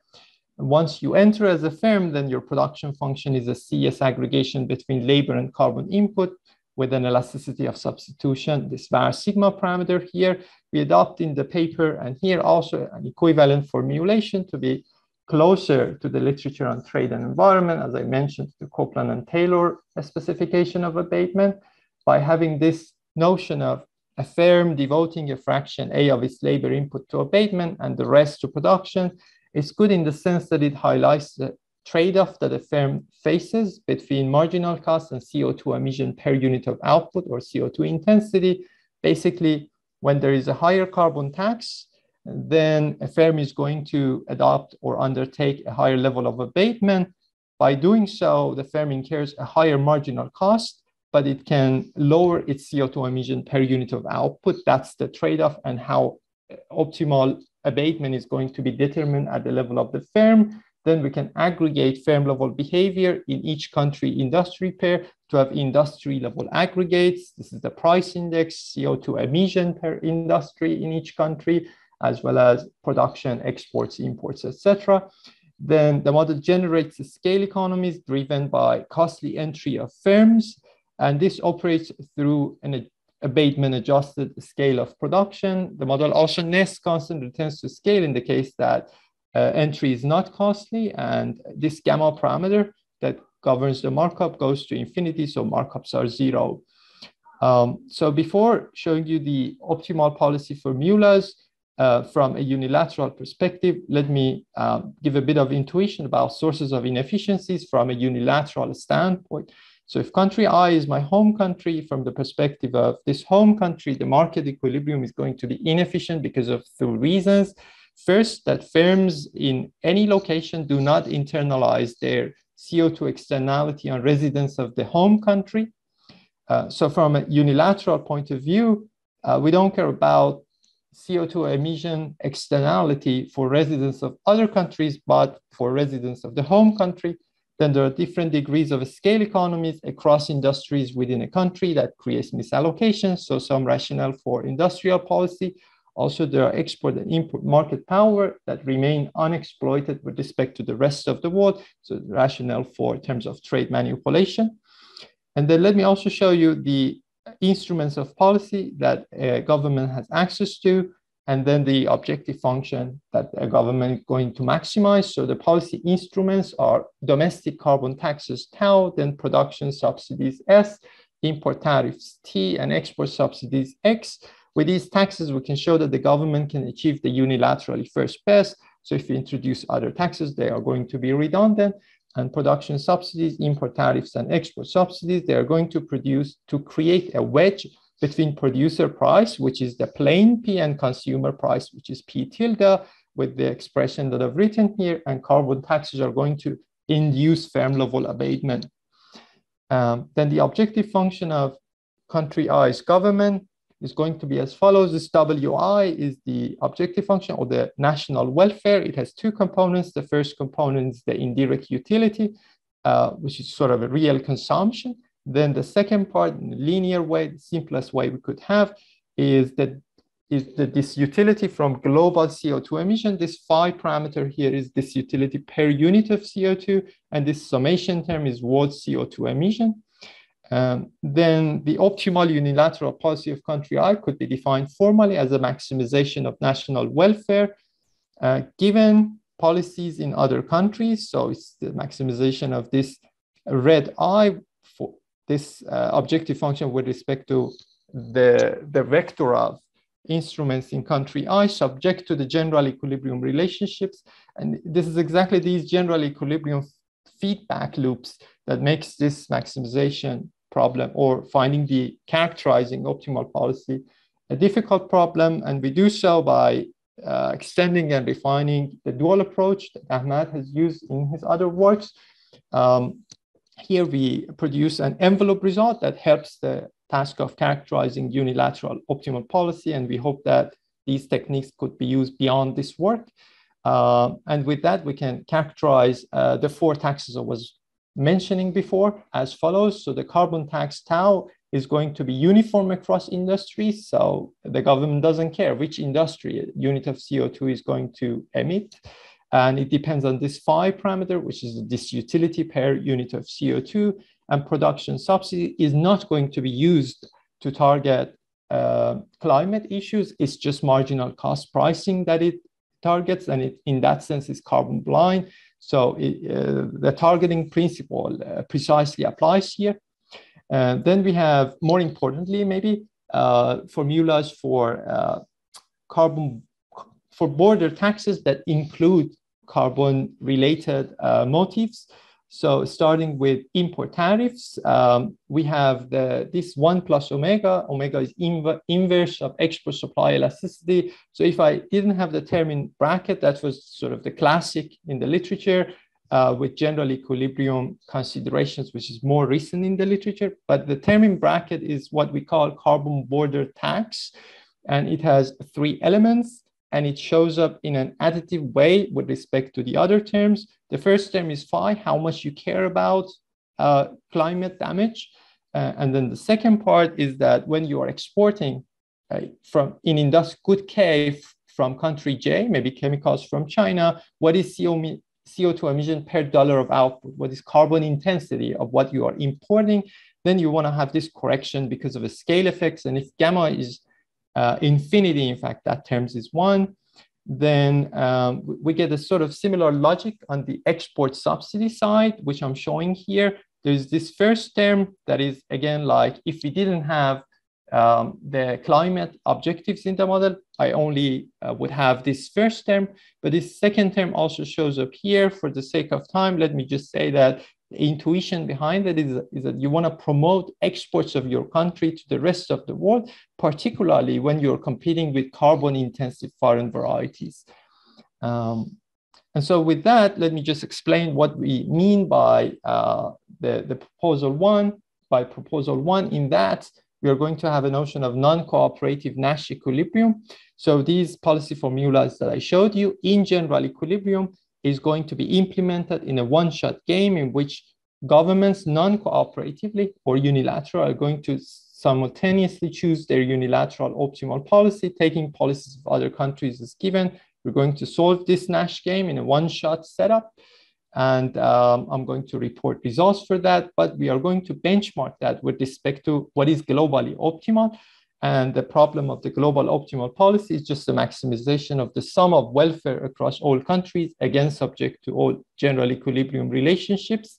Uh, this is a simpler problem that, than unilateral optimal policy. And the, the outcome of it is going to be as follows, that carbon taxes per country is not going to be your phi only, but the sum of those phis, you can think about the, the sum of those phis as a social cost of carbon.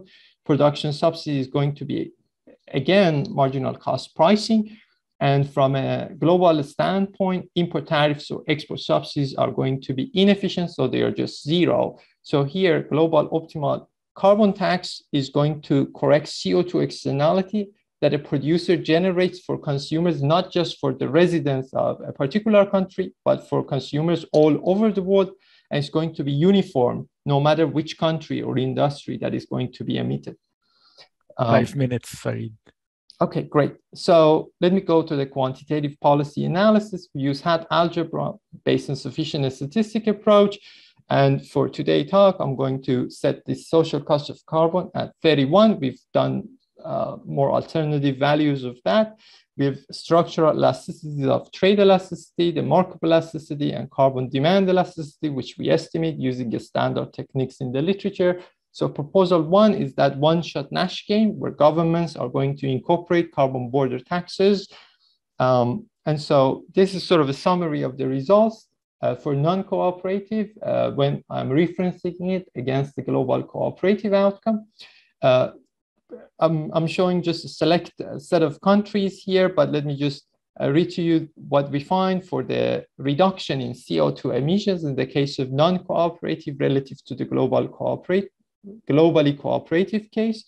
So in the case of non-cooperative uh, outcome, we find that um, the reduction in CO2 emissions is just 0.6%. In the case of global cooperation, that is 61%.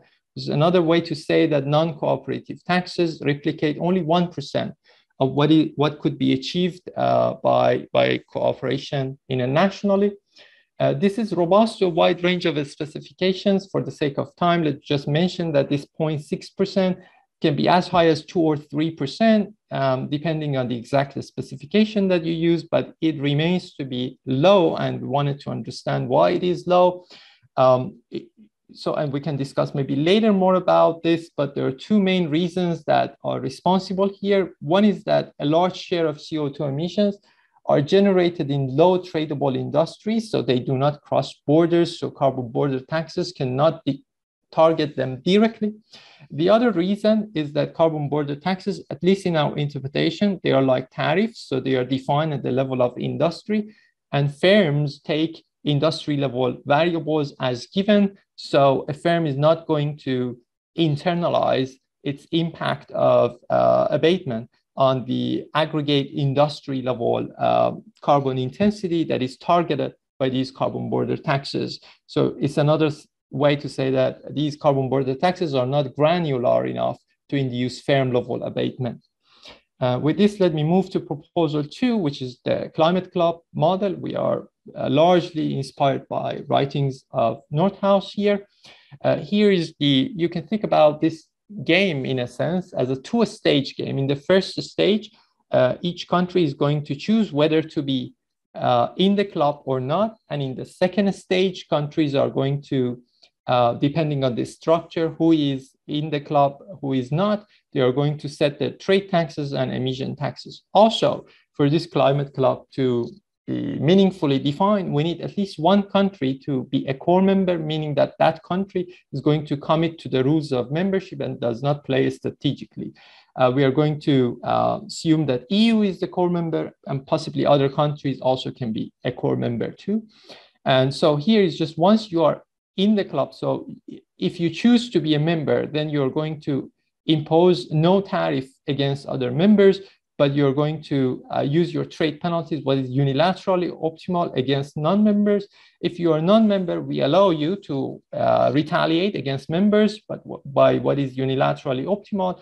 But uh, in terms of trade taxes with respect to non-members, you are going to stay at a status quo. If your ta tariff is three or 5%, you can just stay there. On the emission tax side, if you are a member, then you, you have to increase your individual FI to the sum of FI, so from unilateral optimal to global optimal. But if you're a non-member, you stay at your status quo. For us, that status quo is what is unilaterally optimal, which is a very low carbon tax for most countries here. So the main trade-off is that by joining the club, a country is going to incur production loss because of adopting a higher carbon tax, but at the same time, it can escape from members' trade penalty. Uh, what we find first is that the Club of All Nations is a Nash equilibrium and does no matter who core members are.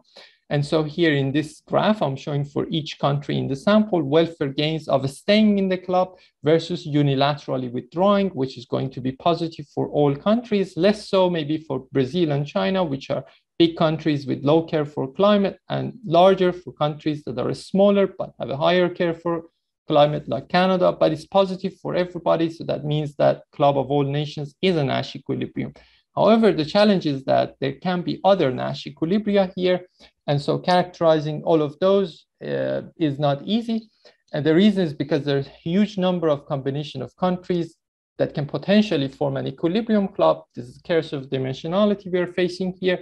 We exploit a key property of this game, which is net benefit of joining the club is going to rise in the club size because the club size collective trade penalty is going to be stronger when the club is larger.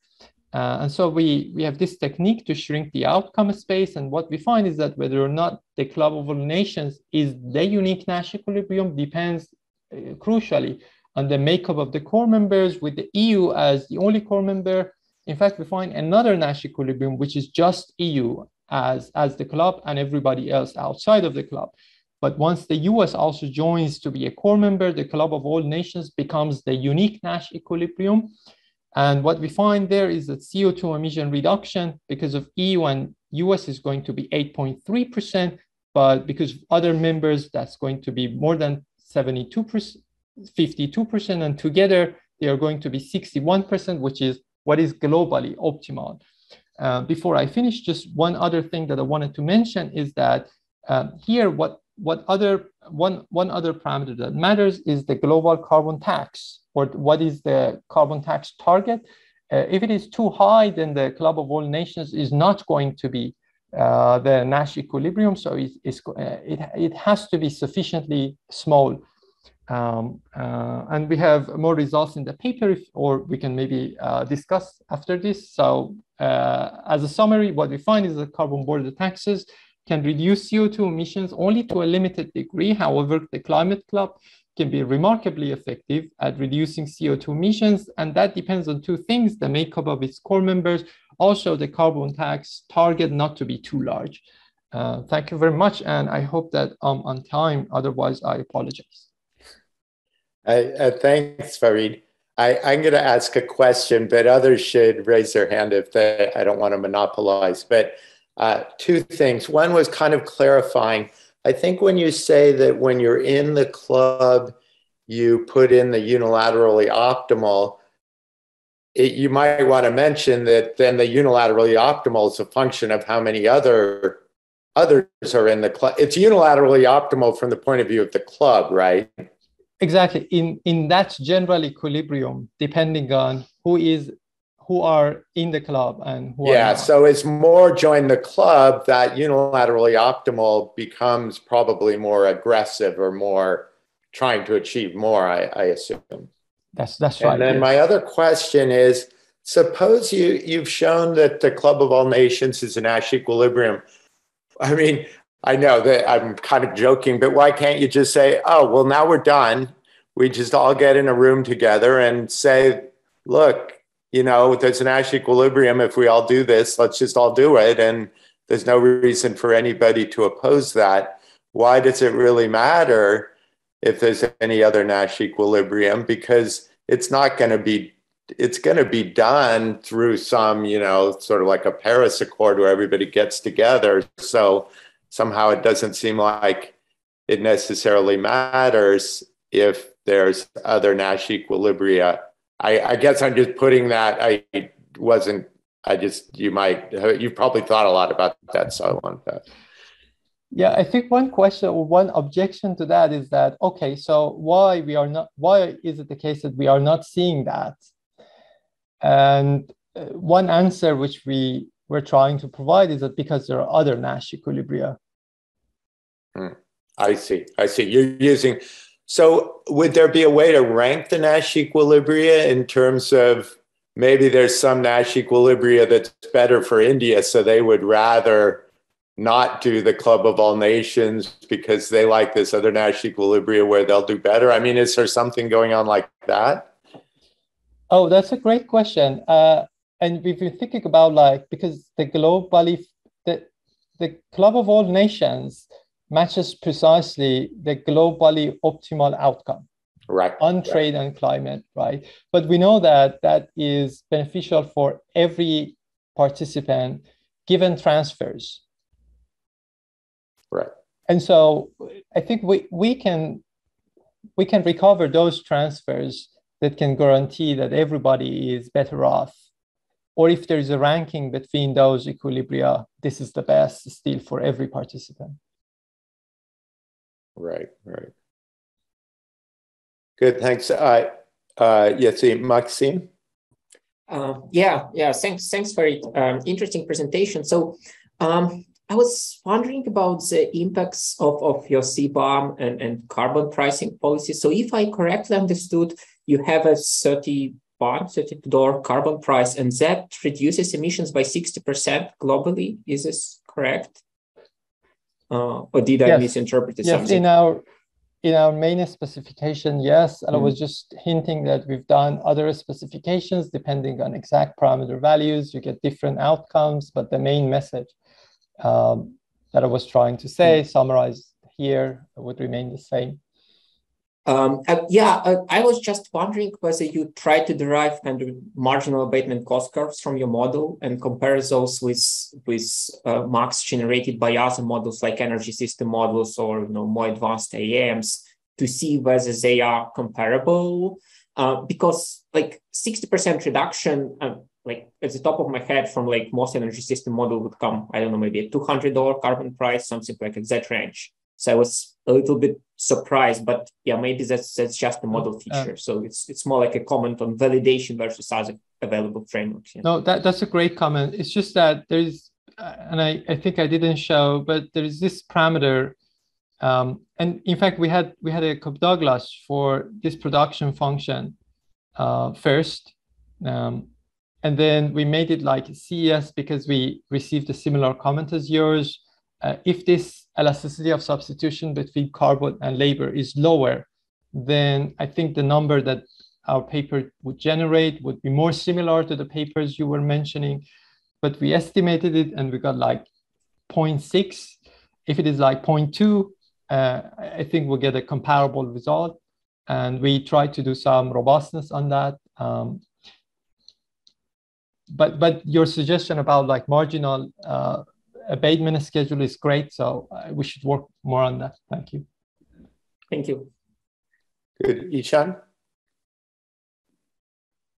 Uh, I guess I, I sort of had a thought on Sam's question or kind of a follow up. I was I was thinking maybe one reason the intermediate Nash equilibria are important. I'm curious if you agree, is because at some point there needs to be like credibility established that the countries in the club will follow through on punishing the other countries. So it might be like if you believe fully that the clubs will do what they're saying they'll do, then it's optimal for every country and everyone joins. But it might be the case that some countries like don't really necessarily believe uh, that the climate club will follow through on these policies that punish the countries outside the club, which also incur some costs inside the club. So maybe you need some like initial set of nations to join and actually do the thing, and then the other countries will be like, oh, they're actually punishing us. We have to join too. Is that like a reasonable way to think about it, or do you think I'm missing something?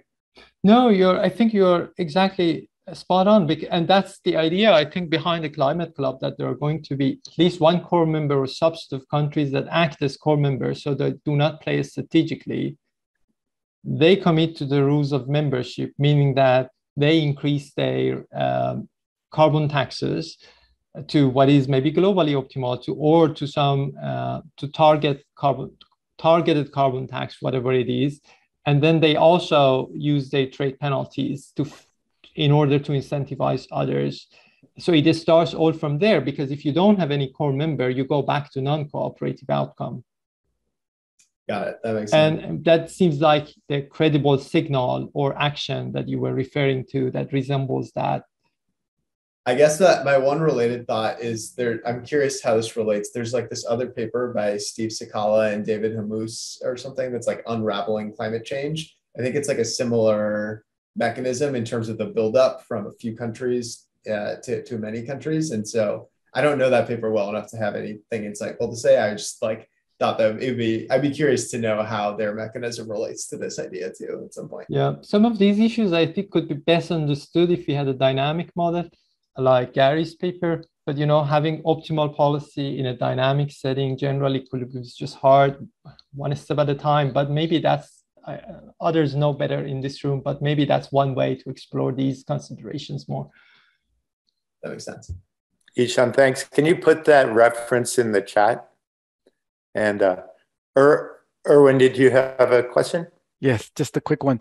Um, so, um, Farid, thanks for the presentation. Um, is it possible for you to instead use a particular climate target, for example, let's say a temperature change, um, instead of imposing a carbon tax? So you have a temperature change target, for example, that is exogenous, and that will endogenize the carbon tax and then that will further affect how the um, the emission changes across countries um, will will be will play out. So um, I wonder if if that's possible. That way, you don't focus so much on on a particular carbon tax, um, but instead on on the climate target. Um, and then the other um, suggestion that I might have is, are you able to include um, in here the nationally determined contributions um, that are um, more relevant in the in the intermediate term, right? Um, so yeah, but but thank you. No, thanks. Uh, great comments. The first one, we we don't have um, a temperature module in our model to to to have that currently. That that's a great suggestion. Let me think more about it. For for that, I'm pretty sure that we need like one of these modules that maps temperature and it, it has a feedback from that. Um, so we need to build that into, into a model like this and we don't have it currently. That's why we went with like carbon tax target. And, on your second point, I wasn't sure what, what you meant exactly. Can you elaborate a bit more if you have time? So in, in the Paris Agreement, there's um, each country committed to to a certain um, reduction target um, over the next 10 years, for example. Um, so I wonder um, if if you have those information, um, if it's possible for you to include that in your Nash equilibrium. Um, of course, we don't know. We we it's uh, it will be further complicated because those are commitments, right? Um, not all all of them are um, committed to achieving the target, and not all of them are, are working towards that target. So it, yeah, it's I see. but a, maybe instead of globally optimal, it could be something which is sub-globally optimal but higher than unilaterally optimal, and that could map to what you suggested, right? Yeah, and yeah, and then finally, oh, just um, a quick one: um, carbon leakage uh, maybe would be a good one to to include um, in your analysis. Um, without the the carbon, without the Nash equilibrium, how much leakage would there be um, globally? Um, but thank you. Sure, we, we do have that certainly here. I just didn't have time, so I didn't report it. But but sure, yeah, thanks. These are great comments. Thank you. Okay, great. So now I think we we get some overall discussion from Maksym uh, Chepeliev. Uh, yeah, thank you. So what I was planning to do is to uh, briefly discuss some data challenges that I think, yeah, um, kind of all, all communities of both CGE and, and um, in KGM's face in terms of looking forward, projecting macro changes, uh, population demographic changes. And then I'll briefly comment on differences between the two approaches. And, and then we can have a discussion on kind of how we can benefit from, from model comparisons and model linkages, what gaps we see uh, in, in both approaches and how we can bridge them. And, and there, oh, any comments and, and uh, you know, participations from presenters would be uh, highly appreciated. Uh, so in terms of uh, first data challenges and recent and, and some recent developments, I, I would like to focus on two points. So first, uh, global uh, multi-region input-output models uh, that um, many, in, well, especially in the CGE community, of course, we we we rely on those to uh, calibrate our models, but also in in, in QTM communities. I know a lot of people use uh, world input output database and then, uh, for instance, EXIOBASE or Eora uh, to um, to parameterize their intersectoral linkages. And and I think one um, kind of uh, step forward would be to to close a look into intercomparison between these um, different MRIOs. So um, I also wanted to uh, to bring to your attention the fact that uh, recently a new global MRIO has been released called called Emerging. So uh, and uh, it covers 135 sectors and uh, 245 economies. Uh, and and authors there they try to focus on a lot on developing countries and, and small economies. And, and provide as, as, as, as good as possible representations of, of uh, this particular low income and, and small economies. So potentially something to uh, kind of try to use uh, within um, our communities. Um, of course, each of these MRIOs has their strengths and, and weaknesses, but multi MRIO comparison so would definitely be beneficial and not so um, I, I, there are some papers that use, let's say, both WIOD and, and uh, Eora or EXIOBASE to parameterize models. So it would be great to see more of this work. And, and in particular, in the, in the center, in the GTAP center, we are working on providing GTAP MRIO in a flat format, so WIOD style format, like uh, in an um, square uh, uh, metrics. So hopefully this would also allow to uh, kind of better benefit from um, from, from this MRIO in their um, community work. So uh, second point I, I also wanted to uh, discuss is the future market projections. Um, as a lot of us, we rely on shared socioeconomic pathways uh, framework in, in looking forward and uh, projecting demographic and, and macro changes. And this framework is, uh, of course, well grounded. It's uh, used a lot in the climate community. But since it has been a while as these scenarios have been constructed, so the reference here is, is uh, 2010, and it hasn't been updated since then. Um, the world has changed substantially since then. So here you can see a couple of charts on how GDP growth rates compare across several, um, so on the left, you see G, G7 countries. So there, due to COVID and um, a lot of other impacts, uh, changes are substantial across selected years, but then they kind of converge when we uh, uh, when we average across years. But in other cases, especially developing countries in, in like sub-Saharan Africa uh, aggregate on, on, on uh, the chart on the right, we can see that there are some substantial deviations between uh, SSP projections and, uh, and more recent IMF economic uh, outlook. So um, kind of updating SSPs is something that uh, currently the IPCC community and climate community is looking into. We also are uh, um, conducting uh, in, in, the center work on, on kind of bridging their shorter term projections with these longer term SSPs.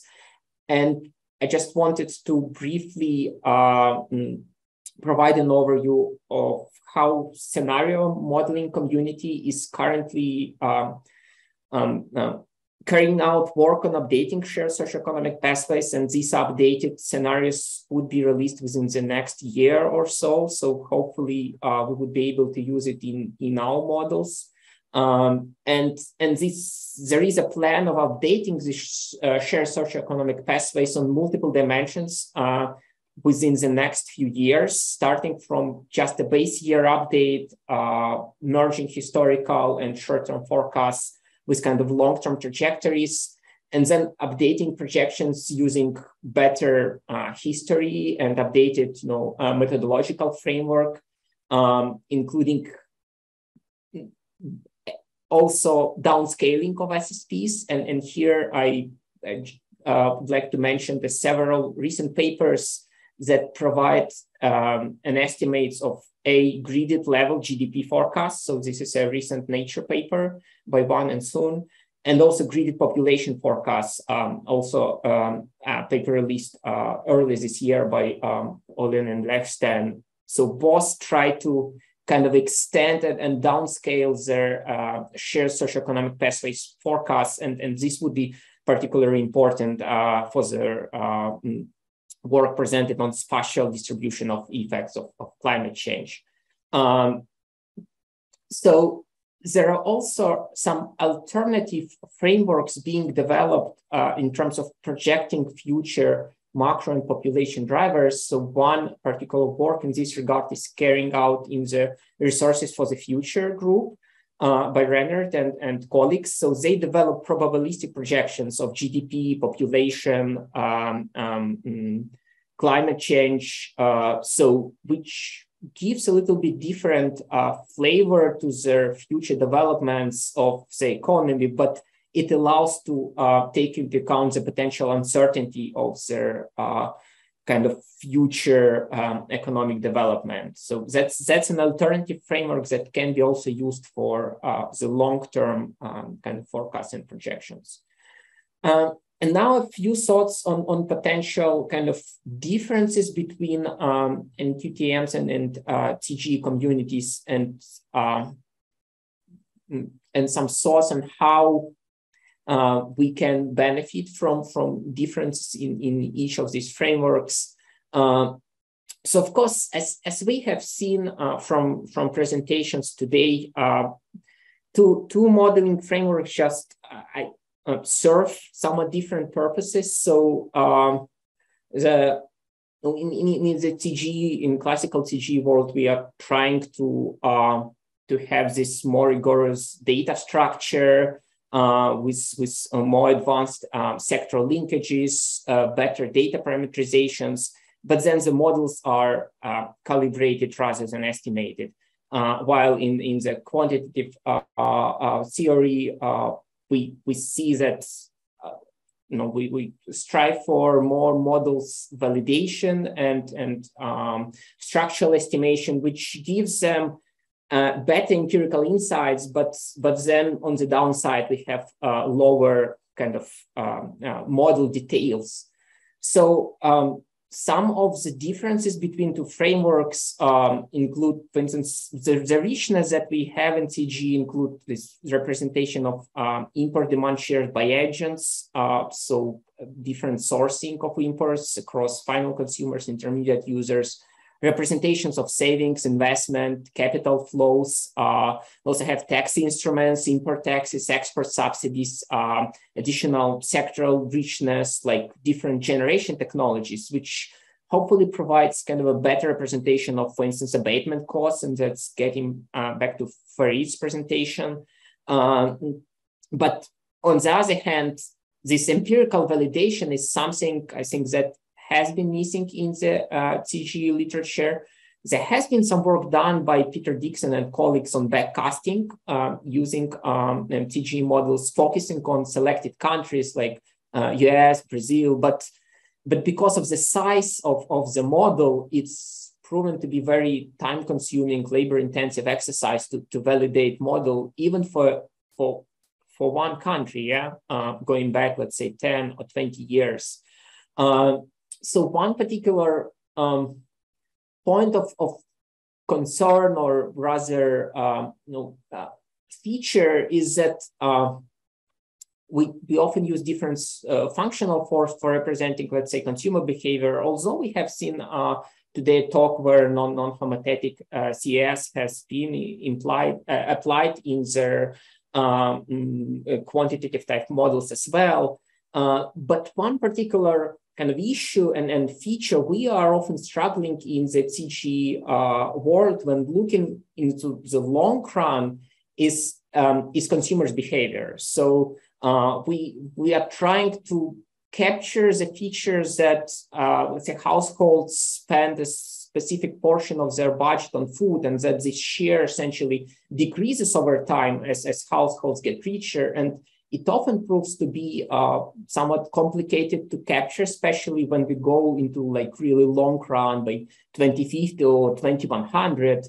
And so that the share of expenditure on basic goods kind of decreases over time. And and when we link these value flows with quantity flows, when we incorporate, let's say, energy uh, flows or nutritional flows into the modeling framework, uh, we often observe that there is this like expensive behavior on, on caloric consumption by households.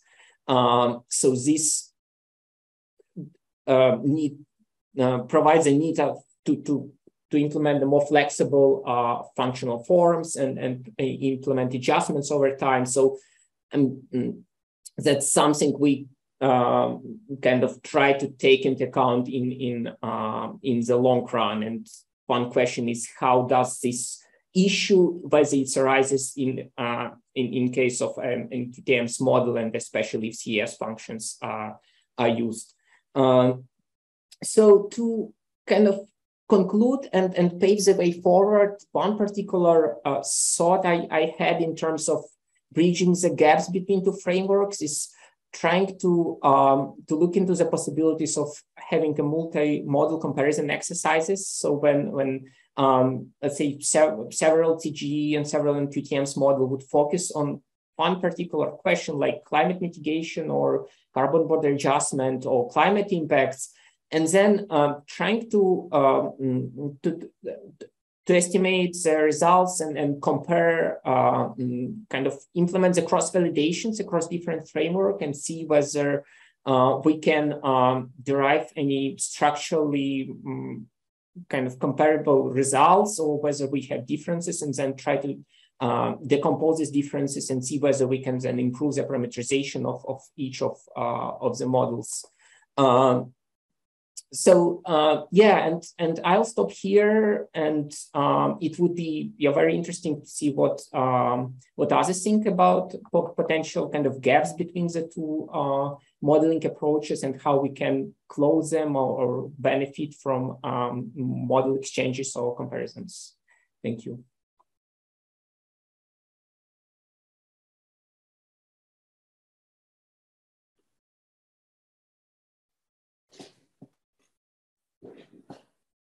Um, yeah, thanks, uh, Maksym. If people um, uh, raise their hands, we can. Let me just ask a little bit. Uh, I think I, I actually kind of misread at the beginning. What does the N in NQTM stand for? I think new. New. Okay. Yeah. So, they, I mean, I guess some to some extent, I feel like that class of models would be sort of more experimental. And so that's kind of good to have sort of some more experimental, you know, trying out new things easily because they're small and kind of flexible, experimental, so that you can kind of include new features more easily. And then there should be other models that are more, which I think I'm going to say are more like the CGE models that then kind of embody the the winning experiments or the successful experiments. So I feel like that's useful, but uh, so I'm not sure there's any problem, but I do feel like the comparison of how you know how how they give differing predictions about a particular thing we're interested in, interested in is very healthy. So uh, anyway, now we're starting to get questions, except I've lost track of, oh, maybe I don't see, didn't I see some hands uh, raised on that? Yeah, Erwin? Yeah, um, thanks, Sam. Um, so just to um, raise two points that, um, or just to address two points that, that Maksym raised. Um, on the um, data, for example, uh, Maksym mentioned that um, in in the structural estimation um, mostly um, the data being used is is from WIOD. So starting, I, if I'm not mistaken, towards the end of last year, um, we started coordinating with Lorenzo um, Caliendo, um, and we started providing him the 2014 reference year data of of GTAP. Um, GTAP MRIO format in, in the flat um, wired format. And then um, I think about a few months ago, um, March or April, um, we've also provided the 2014, uh, the, two, the 2011 data. Um, and then we agreed that um, in the next few months, we will also produce the 2007 and 2004 data um, and then share it with, with Lorenzo. So um, I think Farid also has access to that 2014 data. Um, but for the other ones, we're, we're going to rerun the, the, the MRIO um, construction um, to, to create um, those um, other three reference years. Um, because when we started building the GTAP MRIO data, it takes so much time that we said we'll just do one reference year.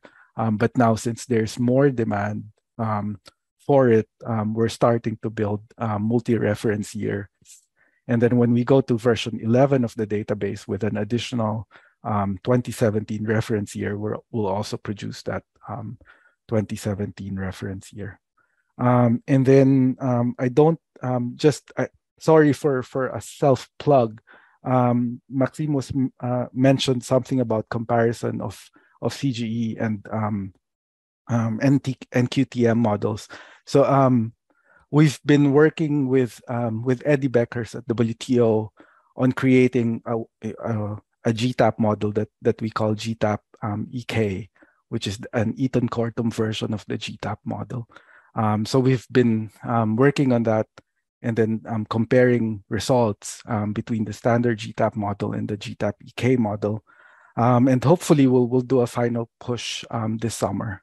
and yeah, we would appreciate if, if we'll, we'll try to send you a version of the paper and then we'll, we'll appreciate if you could give us comments on that. Yeah, thank you. Uh, Tom? Yeah, I'm, I'm really glad um, uh, to see this session. Um, thanks to Anton for organizing, thanks to Sam for chairing, and everyone for presenting. Um, uh, this is, yeah, this is, uh, these are two communities that need to interact more. I know the GTAP community would benefit tremendously from more of these kinds of sessions, these interactions. Um, I found um, just even within the CGE community, um, focusing on our common resource, which is the really heavy one, the data itself. Um, models are cheap in the end. Um, it's the data that's that's challenging, and so if we can um, start using common data sets. Um, and doesn't have to be GTAP. We're certainly investing a lot of resources in that direction to make it more useful. Um, I think that that would be a great uh, starting point. I think um, uh, what I'd be really interested in is um, comparing parameters, um, the, the, the, parameters that say Farid was just talking about abatement costs, you know, uh, or the labor, you know, emissions substitution. Um, and Maksym had one view, kind of bottom up. Um, Farid observed something else in the data. Um, that's the kind of thing that would be extremely useful, I think, for the GTAP community and maybe also useful for people like Farid. Bit of reality check or a, a further validation of what he's done. I think that's an area where there'd be huge benefits. Um, of course, to compare parameters, we need to have common kind of model structures. And uh, so the work Erwin and others are doing to, to proliferate the types of, of, of model CGE CGE community is using that that's important. Incorporate all of those innovations that Sam was alluding to that you know filter their way to the top. But but I think that the common data set is it's so much work goes into the data, and the data are so important in the end for um, for the estimation and other purposes and we have a tremendous resource in the GTAP consortium in that community. I mean, you think about how the tariff data, for example, has evolved since the first data set where um, Brad McDonald was copying numbers out of the WTO country reports to now where we're we've got the International Trade Center in Geneva that's actually collecting these data out there. They are developing it and formatting it in a very particular way, processing it in a very particular way to be incorporated into GTAP.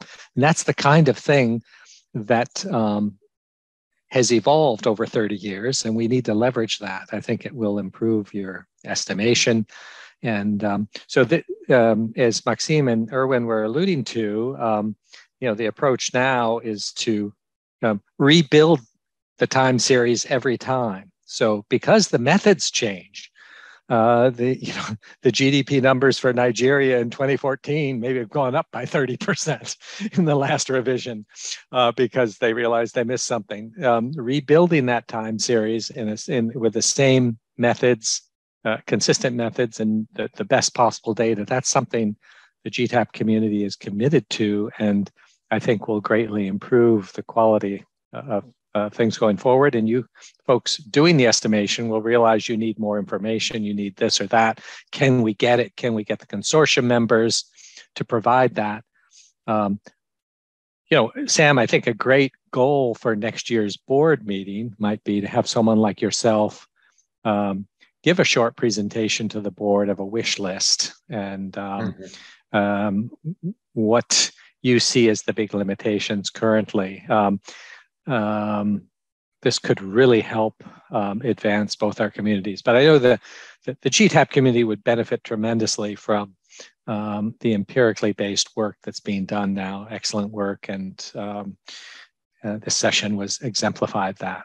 So I'll stop there.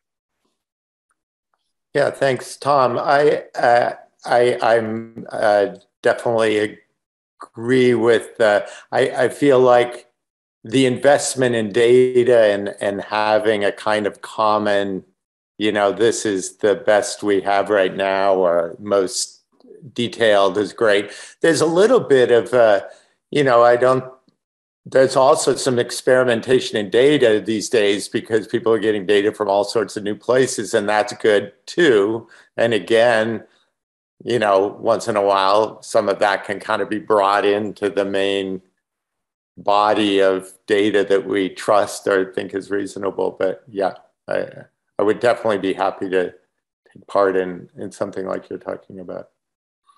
Were there, are there other uh, uh, thoughts people want to throw out there? Let me um, just say I, I really enjoyed the papers. I, as I mentioned, I've heard all three before, but uh, it was great to hear them again. And even with 20 minutes, I think that was kind of good because then we had plenty of time for questions as well. But uh, thanks very much for for uh, taking part. It was a nice nice session.